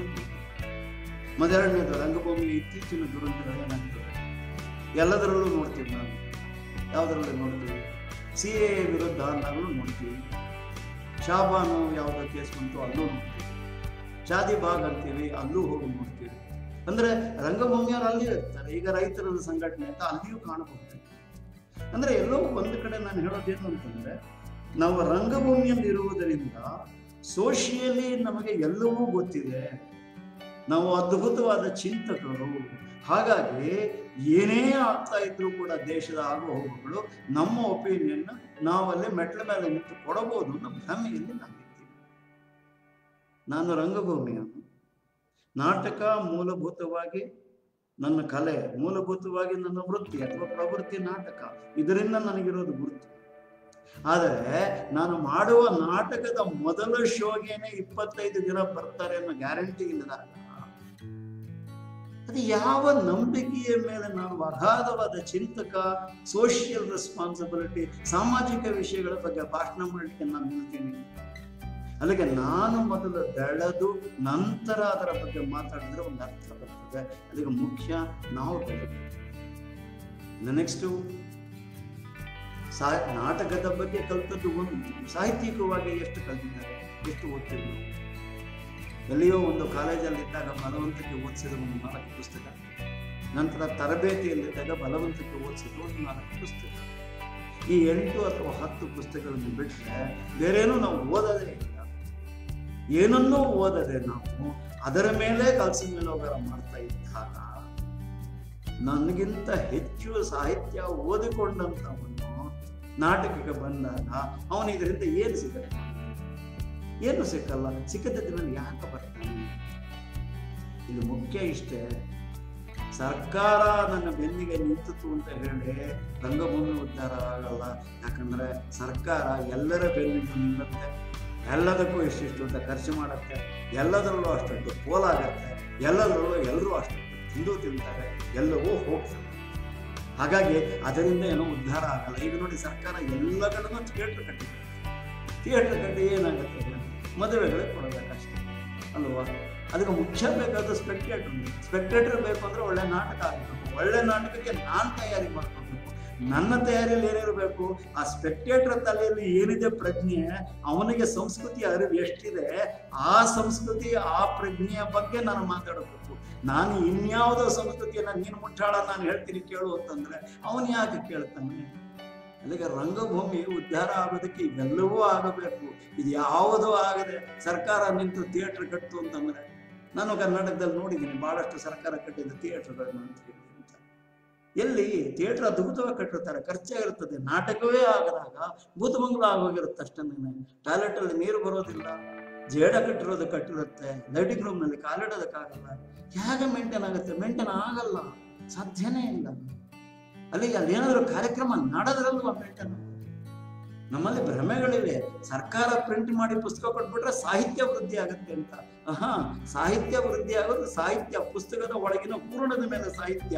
ಪೂರ್ಣ ಚೆನ್ನಾಗಿದ್ರೆ ಓದೋನಿದ್ದಾನೆ ಆವಾಗ ಪ್ರಿಂಟ್ ಮಾಡೋದು ಅಂತ printing is only a tool ಈ ಥಿಯೇಟ್ರು ಅಷ್ಟೇ ಇಟ್ಸ್ ಓನ್ಲಿ ಎ ಟೂಲ್ ಮುಖ್ಯ ಆಗಬೇಕಾದ ಇಲ್ಲಿ ಅಲ್ಲಿಗೆ ಮೊದಲಿಗೆ ರಂಗಭೂಮಿ ಪ್ರೊಫೆಷನಲ್ ಆಗಿ ಆಗಬೇಕು, ಅದ್ಭುತವಾಗಿ ಆಗಬೇಕು ಅಂದ್ರೆ ಬೇಸಿಕಲಿ ನಾನು ವಿನೀತ ಬಾಬು. ದೇವಿಕಾರಂತರ ತಿಂಗಳಿಗೆ ಒಂದು ನಾಟಕ ಮಾಡ್ತಾರೆ ಪ್ರತಿ ತಿಂಗಳು ಅವರು ಅದ್ಭುತವಾದ ನಾಟಕಗಳನ್ನು ಮಾಡ್ತಾರೆ. ಆದ್ರೆ ಅದು ಮಾಡುವುದಕ್ಕೆ ಅವರ ಕಲಿತ ಕಲಿಕೆ ಇದೆಯಲ್ಲ, ಅದು ಮೂವತ್ತು ವರ್ಷದ ಅನುಭವದ ಕಲಿಕೆ. ಒಂದೆರಡು ದಿನದಲ್ಲ ಕಲಿಕೆ. ನಾನು ಆರು ತಿಂಗಳು ಒಟ್ಟಿಗೆ ಇದ್ದು ನಾನು ಅದೇ ತರ ಮಾಡ್ತೀನಿ. ಹಂಗೆ ಸಾಧ್ಯ ಆಗಲಿಕ್ಕೆ ಅಲ್ಲಿಗೆ ನಾವು ಕಲಿಯದೆ ಏನೋ ಆಗೋಗಿದ್ದೀವಿ ಅನ್ನೋದಿದೆಯಲ್ಲ ಇಲ್ಲಿಯೇ ಮುಖ್ಯವಾಗಿ. ನಂತರ ಇನ್ನೊಂದೇನಾಗುತ್ತೆ ಸಂಸ್ಥೆಗಳು ಹುಟ್ಟಾಕ್ತೀವಿ ಎಲ್ಲರೂ ಸಂಸ್ಥೆಗಳು ಹುಟ್ಟಾಕ್ತೀವಿ ಯಾಕಂದ್ರೆ ಯಾವುದೋ ಫಂಡ್ಸ್ ಬರುತ್ತೆ ಸಂಸ್ಥೆಗಳು ಹುಟ್ಟಾಗ್ತೀವಿ. ಸರ್ಕಾರ ಕಾಸು ಕೊಡ್ಬೋದು ಅಥವಾ ಬೇರೆ ಯಾವುದೋ ಫಂಡ್ ಬರ್ಬೋದು ಈ ಸಂಸ್ಥೆ ಹುಟ್ಟಾಕಿದ್ರೆ ಏನಾಗುತ್ತೆ? ವರ್ಷಕ್ಕೊಂದು ಕೋರ್ಸ್ ಮಾಡಲೇಬೇಕು. ಅಲ್ಲಿ ವರ್ಷಕ್ಕೊಂದು ಕೋರ್ಸ್ ಮಾಡಬೇಕು ಅಂದ್ರೆ ಅದಕ್ಕೊಂದು ಹದಿನೈದು ಜನ ಬೇಕೇ ಬೇಕು. ಆ ಹದಿನೈದು ಜನಕ್ಕೆ ನಾವೇನು ಹತ್ತಿಸ್ತೀವಿ? ಇದಾದ ಕೂಡಲೇ ನೀನೇನೋ ಅಭೂತಪೂರ್ವವಾಗಿ ನೀನು ರಾಜ್ಕುಮಾರ್, ಅಮಿತಾಬ್ ಬಚ್ಚನ್, ನಾನಾ ಪಟೇಕರ್ ಆಗೋಗ್ತೀವಿ ಅನ್ನೋ ಕನಸು ಆ ಕನಸಿನಲ್ಲಿ ಹದಿನೈದು ಜನಕ್ಕೆ ನಾವು ಹೇಳ್ಕೊಡ್ತೀವಿ. ಏನು ಹೇಳ್ಕೊಡ್ತೀವಿ? ಇಲ್ಲಿ ಇರುವಂತಹ ರಂಗಭೂಮಿಯ ಜನಗಳಿಂದನೇ ಪಾಠ ಮಾಡಿಸ್ತೀವಿ. ಇಲ್ಲಿರುವ ರಂಗಭೂಮಿಯ ಜನಗಳೇ ಅಮೆಚ್ಚೂರು ಇವರು ಅವರು ಹೋಗಿ ಪಾಠ ಮಾಡೋದು ಇನ್ನೊಂದಷ್ಟು ಅಮೆಚ್ಚೂರು ವಿಷಯ ಇವಾಗ ನನ್ನನ್ನು ಕರೆದ್ರೆ ನಾನೊಬ್ಬ ಅಮೆಚ್ಚೂರು ಅಷ್ಟೇ. ನಾನೇನು ಹೇಳ್ಕೊಡ್ತೀನಿ? ಏನೋ ಒಂದೆರಡು ನಾಟಕ ಮಾಡಿರ್ಬೋದು ಒಂದೆರಡು ಪರ್ಫಾರ್ಮೆನ್ಸ್ ಕೊಟ್ಟಿರ್ಬೋದು ಅದು ಬೇರೆ ಪ್ರಶ್ನೆ ಅದು ನನ್ನನ್ನು ಸಂಪೂರ್ಣವಾಗಿ ಆ ಕಲೆಯನ್ನು ಕಲಿತವನು ಅಂತ ನೀವು ಕರೀಲಿಕ್ಕೆ ಆಗೋದಿಲ್ಲ ಈ ಹದಿನೈದು ಜನನ ಟ್ರೈನ್ ಮಾಡಿ ಬಿಟ್ಟು ಬಿಡ್ತೀರಿ ವರ್ಷಕ್ಕೆ ಹದಿನೈದು ಜನ ನೀವು ಟ್ರೈನ್ ಮಾಡಿ ಬಿಟ್ಟು ಬಿಟ್ರೆ ಈ ಹದಿನೈದು ಜನ ಪಾಪ ಮುಂದೆ ಏನ್ ಮಾಡಬೇಕು? ಬೆಂಗಳೂರಿನಲ್ಲಿ ಅದೇ ಹೇಳ್ತೀನಲ್ಲ ಮೊನ್ನೆ ಎರಡು ಸಾವಿರ ಜನ ಅಂತ ಅಪ್ಲಿಕೇಶನ್ ಹಾಕ್ತಾರೆ ಕರ್ನಾಟಕದಲ್ಲಿ ಅಂತಂದ್ರೆ. ಎರಡು ಸಾವಿರ ಜನ ಇಷ್ಟೆಲ್ಲ ಫೈಲ್ ಮಾಡ್ತಾರೆ. ನನಗೆ ಗೊತ್ತಿದ್ದ ಹಾಗೆ. ವರ್ಷದಲ್ಲಿ ಒಂದು ಇಪ್ಪತ್ತು ಹೌಸ್ಫುಲ್ ನಾಟಕ ಆಗತ್ತೆ ಬಿಡುತ್ತಾ? ಅದೇ ಡೂಟಿ ಆಗಬಹುದೇನೋ, ಇಲ್ಲ ಅಂತ ನಾನು ಹೇಳೋದಿಲ್ಲ. ಆದ್ರೆ ಅದು ಸಾಕ. ಹಾ ಅಲ್ಲಿಗೆ ಏನಾಗಿದೆ? ನಾವೆಲ್ಲರೂ ರಂಗಭೂಮಿಯೊಟ್ಟಿಗೆ ಅಂಟ್ಕೊಂಡಿದ್ದೀವಿ ಸತ್ಯ. ಅದರ ರಂಗಭೂಮಿಗೆ ಸಂಬಂಧಪಟ್ಟ ಹಾಗೆ ಎಷ್ಟು ತಿಳ್ಕೊಂಡಿದ್ದೀವಿ, ಮತ್ತೆ ರಂಗಭೂಮಿಯನ್ನ ಜನರನ್ನ ಎಂಗೇಜ್ ಮಾಡುವ ಎಷ್ಟು ತರಹದ ಪ್ರೋಗ್ರಾಮ್ ಮಾಡಲಿಕ್ಕೆ ನಮ್ಮಿಂದ ಸಾಧ್ಯ ಆಗ್ತದೆ? ಅದರ ಬಗ್ಗೆ ಖಂಡಿತ ನಮಗೆ ಅರಿವಿಲ್ಲ ಅದು ಯಾವುದೂ ಇಲ್ಲದಾಗ ನಾನು ವೃತ್ತಿಪರನಾಗಿ ಇದನ್ನೇ ನಂಬಿದ್ದೇನೆ. ಯಾರೋ ನನಗೂ ಹಾರ ಹಾಕ್ಬೇಕಾದ್ರೆ ಹೇಳಿದ್ರು ಜೀವನವೆಲ್ಲ ರಂಗಭೂಮಿಗೆ ಅಂತ. ನನ್ನ ನಂತರ ನನ್ನ ಭಾಷಣದಲ್ಲಿ ಹೇಳಿದೆ, ಖಂಡಿತ ನಾನು ಜೀವನವೆಲ್ಲ ರಂಗಭೂಮಿಗೆ ತೇರಿಲ್ಲ ಯಾರು ಕೂತರೂ ನೀವು ಇದನ್ನ ಹೇಳಿಬಿಡ್ತೀರಿ. ನಂಬಿದ್ರೆ ಅದು ಭ್ರಮೆ ಆಗತ್ತೆ. ಜೀವನವೆಲ್ಲ ನಾನೇನೋ ಒಂದು ಕೆಲಸ ಮಾಡ್ಕೊಂಡಿದ್ದೀನಿ, ಹೊಟ್ಟೆ ಹೊರಗೇನು ಮಾಡ್ತಿದ್ದೆ. ರಂಗಭೂಮಿ ನನಗೆ ಬೌದ್ಧಿಕವಾಗಿ ಎಂಗೇಜ್ ಮಾಡ್ತು ರಂಗಭೂಮಿಯಲ್ಲಿ ಇರೋದು ನನಗೆ ಸಂತೋಷ ಕೊಡುತ್ತೆ. ಇಲ್ಲಿ ಎಷ್ಟೋ ಹೊಸದನ್ನ ಕಲಿಯೋಕ್ಕಾಗಿದೆ, ಇನ್ನೆಷ್ಟೋ ಹೊಸದನ್ನ ಓದೋದಕ್ಕಾಗಿದೆ. ಎಷ್ಟೋ ಸ್ಪೆಕ್ಟೇಟರ್ಸ್ ಚಪ್ಪಾಳೆ ತಿಂದಾಗ ಒಂದು ಸಣ್ಣ ಮತ್ತು ಬರುತ್ತೆ ಮಂಪರ ಬರುತ್ತೆ. ಅದನ್ನು ನಾನು ಖುಷಿ ಪಡ್ತೀನಿ. ಎಲ್ಲಿಯೋ ಜನ ನನ್ನನ್ನು ಗುರುತಿಸಿದ್ರು. ಹಾಗಾಗಿ ನಾನು ರಂಗಭೂಮಿಗೆ ಬಂದಿದ್ದೀನಿ. ಇದಕ್ಕೆ ನಾನೇನೋ ತ್ಯಾಗ ಮಾಡಿದ್ದೀನಿ. ಇಲ್ಲಿ ನಾನೇನೇನೋ ತಿಳ್ಕೊಂಡ್ಬಿಟ್ಟಿದ್ದೀನಿ. ಯಾವುದೋ ವೆಸ್ಟರ್ನ್ ಲಿಟ್ರೇಚರ್ನಲ್ಲಿ ಅದನ್ನೇನೋ ಓದಿದ್ದೀನಿ. ಕ್ಯಾಮ ಕಾಫ್ಕಾ ಸಾರ್ತ್ರೆಯನ್ನು ಬಾಯಿ ಮುಂದೆ ಹೇಳ್ತೇನೆ. ಇಲ್ಲ. ಹಾಗಾಗಿ ನೀವು ಇದನ್ನ ಕೇಳಿ, ನೀವು ನಂಬಿದ್ದು ಸುಳ್ಳು, ಅಪ್ಪ ಅಮ್ಮನಿಗೆ ನಂಬಿಕೆ ನಿಮ್ಮ ಹಳೆ ಜನ್ಮ, ಹಳೆದು ಅಂದರೆ ನಿಮ್ಮ ಅಂದರೆ ನಿಮ್ಮ ಚರಿತ್ರೆಯೇ ಇಲ್ಲ ಈ ದೇಶಕ್ಕೆ. ಈ ಜಾತಿಗಳೆಲ್ಲ ಹೊಲಸು ನಮಗೆಲ್ಲ ಹೊರಗಿನಿಂದ ಬಂದವರೇ ನಮಗೆ ಕಲ್ಚರ್ ಹೇಳ್ಕೊಟ್ಟಿದ್ದು ಈ ಥರದ್ದು ನಾನು ಹೇಳ್ತಾ ಕೂತ್ರೆ ಏನು ಅನ್ಸುತ್ತೆ? ಅಹಂಕಾರ ಆಗೋಗುತ್ತೆ. ಅದು ಮಾತಾಡಬಾರ್ದು ಎಲ್ಲರೂ ನಮ್ಮನ್ನು ಖುಷಿ ಕೊನೆಗೆ ಒಂದು ಮಾತು. ಬಹಳ ಹೊತ್ತು ಈಗ ಮಾತಾಡ್ತಾ ಈ ರಂಗಭೂಮಿಯನ್ನು ಪ್ರೀತಿಸೋದ್ರಿಂದ ಇದರ ಬಗ್ಗೆ ವಿಷಯ ಬಂದಾಗ ಮಾತಾಡಬೇಕು ಕೊನೆಗೆ ಒಂದು ಮಾತು, ರಂಗಭೂಮಿ ಕೊಟ್ಟಷ್ಟು ಖುಷಿ, ರಂಗಭೂಮಿ ನನಗೆ ಕೊಟ್ಟಷ್ಟು ಗುರುತನ್ನ ಇನ್ನು ಯಾವ ವೃತ್ತಿಯು ಪ್ರವೃತ್ತಿಯು ನನಗೆ ಕೊಡ್ತಾ ಇರಲಿಲ್ಲ ಇವತ್ತಿನ ದಿವಸವೂ ನನ್ನ ಮುಖ ನೋಡಿದ ಕೂಡ ಗುರುತು ಹಿಡಿದ್ರೆ ಯಾವುದೋ ನಾಟಕದ ಪಾತ್ರಕ್ಕೆ ಗುರುತು ಹಿಡಿತಾರೆ. ಬೇರೆದಕ್ಕೆ ನನ್ನ ಗುರುತು ಹಿಡಿದ್ರು ಕೂಡ ಈ ನಾಟಕದ ಪಾತ್ರಗಳಿಂದ ಕಲ್ತದ್ದನ್ನು ಅದು ಮಾಡಿದ್ದೀನಿ, ಅದರಿಂದ ಗುರುತು ಮತ್ತೆ ನಾಟಕಗಳನ್ನು ಬರದೆ ಹಾಗಾಗಿ ಗುರುತು ಹಿಡಿತಾರೆ. ನಾಟಕಗಳನ್ನು ಬರದದ್ದು ಯಾಕೆ ಅಂತಂದ್ರೆ ಆ ಮಾತುಗಳನ್ನು ಹೇಳುವ ಚೈತನ್ಯ ನನಗೆ ರಂಗಭೂಮಿ ಕೊಡಿಸ್ತು, ಹಾಗಾಗಿ ಆ ಮಾತುಗಳನ್ನು ಬರದೆ ನಾನು. ಇಲ್ದಿದ್ರೆ ಅದು ಹೇಳಕ್ಕಾಗದೇ ನಾನು ಕೂಡ ಪ್ರೀತಿ ಹಾಗಾಗಿ ಈ ಗುರುತು ಕೊಟ್ಟಿದೆ, ಇದೊಂದು ಅದ್ಭುತವಾದ ಕಲೆ. ಇದೊಂದು ಅದ್ಭುತವಾದ ತಾಣ. ಆದರೆ ಈ ಅದ್ಭುತವಾದ ತಾಣವನ್ನು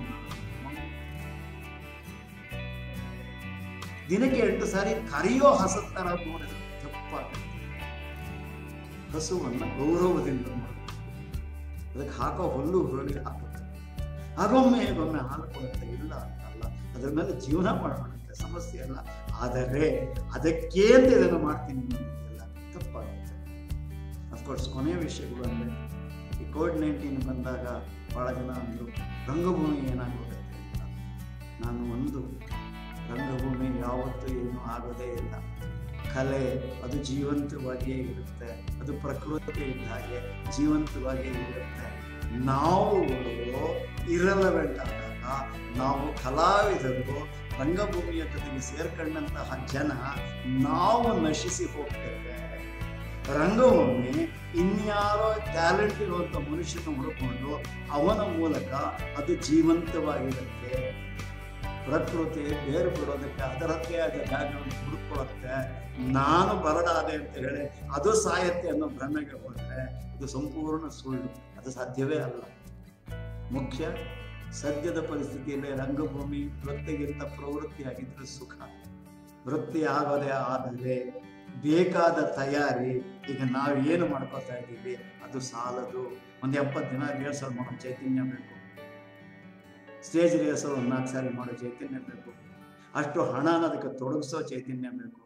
ನಂತರ ಅದರ ಮೇಲೆ ನಾನು ಬಂದಂತಹ ಜನಗಳ ಅರಿವೇನಿದೆ, ಆ ಅರಿವನ್ನ ಮುಟ್ಟುವಷ್ಟು ಅರಿವು ನಾನು ತಿಳ್ಕೊಬೇಕು ಆ ಅರಿವು ನನ್ನಲ್ಲಿ ಜಾಗೃತವಾಗಿದ್ದರೆ ಅವರಲ್ಲದು ಜಾಗೃತವಾಗುತ್ತೆ. ಆ ಅರಿವು ನನ್ನಲ್ಲೇ ಜಾಗೃತವಾಗದಿದ್ದರೆ ಅವರಲ್ಲಿ ಹೇಗೆ ಜಾಗೃತ ಆಗುತ್ತೆ? ರಂಗಭೂಮಿಯೊಟ್ಟಿಗೆ ಇದ್ದೀನಿ ಅನ್ನೋದು ಮಾತ್ರವೇ ಸಾಲದು. ರಂಗಭೂಮಿಯ ಭಾಗ ಆಗೋದಕ್ಕೆ ಇಷ್ಟೆಲ್ಲ ತಯಾರಿಗಳು ಬೇಕಾಗುತ್ತೆ. ಇದೆಲ್ಲ ತಯಾರಿ ಇದ್ದು ಈಗಾಗಲೇ ನಮ್ಮ ಧೋರಣೆಗಳನ್ನು ಕಂಡು ಸಾಕು ಅಂತನಿಸಿ ದೂರ ಹೋಗಿರೋ ಪ್ರೇಕ್ಷಕರು ನಮ್ಮನ್ನ ನಂಬಿ ಇವರು ಕೂಡ ನಮ್ಮ ಧೋರಣೆಯವರೇ, ನಮ್ಮ ಪ್ರಜ್ಞೆಯವರೇ ಅಂತ ಹೇಳಿ ನಂಬಿ ಒಂದು ಕೂತರೆ ಅವತ್ತು ಪ್ರಾಬ್ಲಮ್ ನಮ್ಮ ಜಮೀನು ಅಷ್ಟಕ್ಕೆ ಮುಟ್ಟಬಹುದು ಹಾಗಾಗಿ ಆ ವೃತ್ತಿಗೆ ಅಂತ ತಗೊಳ್ಳೋದಕ್ಕೆ ಇನ್ನಷ್ಟು ವರ್ಷಗಳು ಕಳೆಯುತ್ತಿದೆ. ಸದ್ಯಕ್ಕೆ ಆಗಲಿಕ್ಕಿಲ್ಲ. ಸದ್ಯದ ಪರಿಸ್ಥಿತಿಯಲ್ಲಿ ಇದು ವೃತ್ತಿಯಾಗ ಆಗಲಿಕ್ಕಿಲ್ಲ. ಬೇರೆ ಏನನ್ನೋ ಜೊತೆಗೆ ಕಲ್ತಿದ್ದರೆ ಬದುಕಾಗುತ್ತೆ. ಇದನ್ನೇ ನಂಬಿಕೊಂಡ್ರೆ ಸರ್ಕಾರ ನಂಬ್ಕೋಬೇಕಾಗತ್ತೆ ಸರ್ಕಾರ ನಂಬಿಕೊಂಡ್ರೆ ಇವತ್ತು ಸಿಗತ್ತೆ, ನಾಳೆ ಸಿಗಲ್ಲ. ಸಿಕ್ಕರೂ ಕೂಡ ಎಂಟಾಣಿ ನಾಲ್ಕಾಣಿ ಅದರ ಮೇಲೆ ಜೀವನವನ್ನು ನಡೆಯುತ್ತೆ ಎನಿವೆ ಮಾತುಗೊಂದು ಅವಕಾಶ ಕೊಟ್ಟರು ಬಹಳ ಸಂತೋಷ. ಇದೇ ತರಹ, ಮತ್ತೆ ಮತ್ತೆ ಅವಕಾಶಗಳ ಮಾತಾಡಬಹುದು ವಿಷಯಕ್ಕೇನು ಮೂರು ಗಂಟೆ ಇರುತ್ತೆ. ಆದರೂ ಎಲ್ಲದಕ್ಕೂ ಒಂದು ಸಮಯದ ಮಿತಿ ಇರುತ್ತೆ. ಸಮಯ ಆಗಿದೆ. ಮಾತು ಮುಗಿಸ್ಲಯ್ಯ ವಿಶ್ವನಾಥ್ ಕಲ್ವ ಆಯಿತು ಇಷ್ಟಕ್ಕೆ ಮಾತು ಮುಗಿಸ್ತೇನೆ. ನೋಡೋಣ ಇನ್ನೊಮ್ಮೆ. ಧನ್ಯವಾದ. ನಮಸ್ಕಾರ.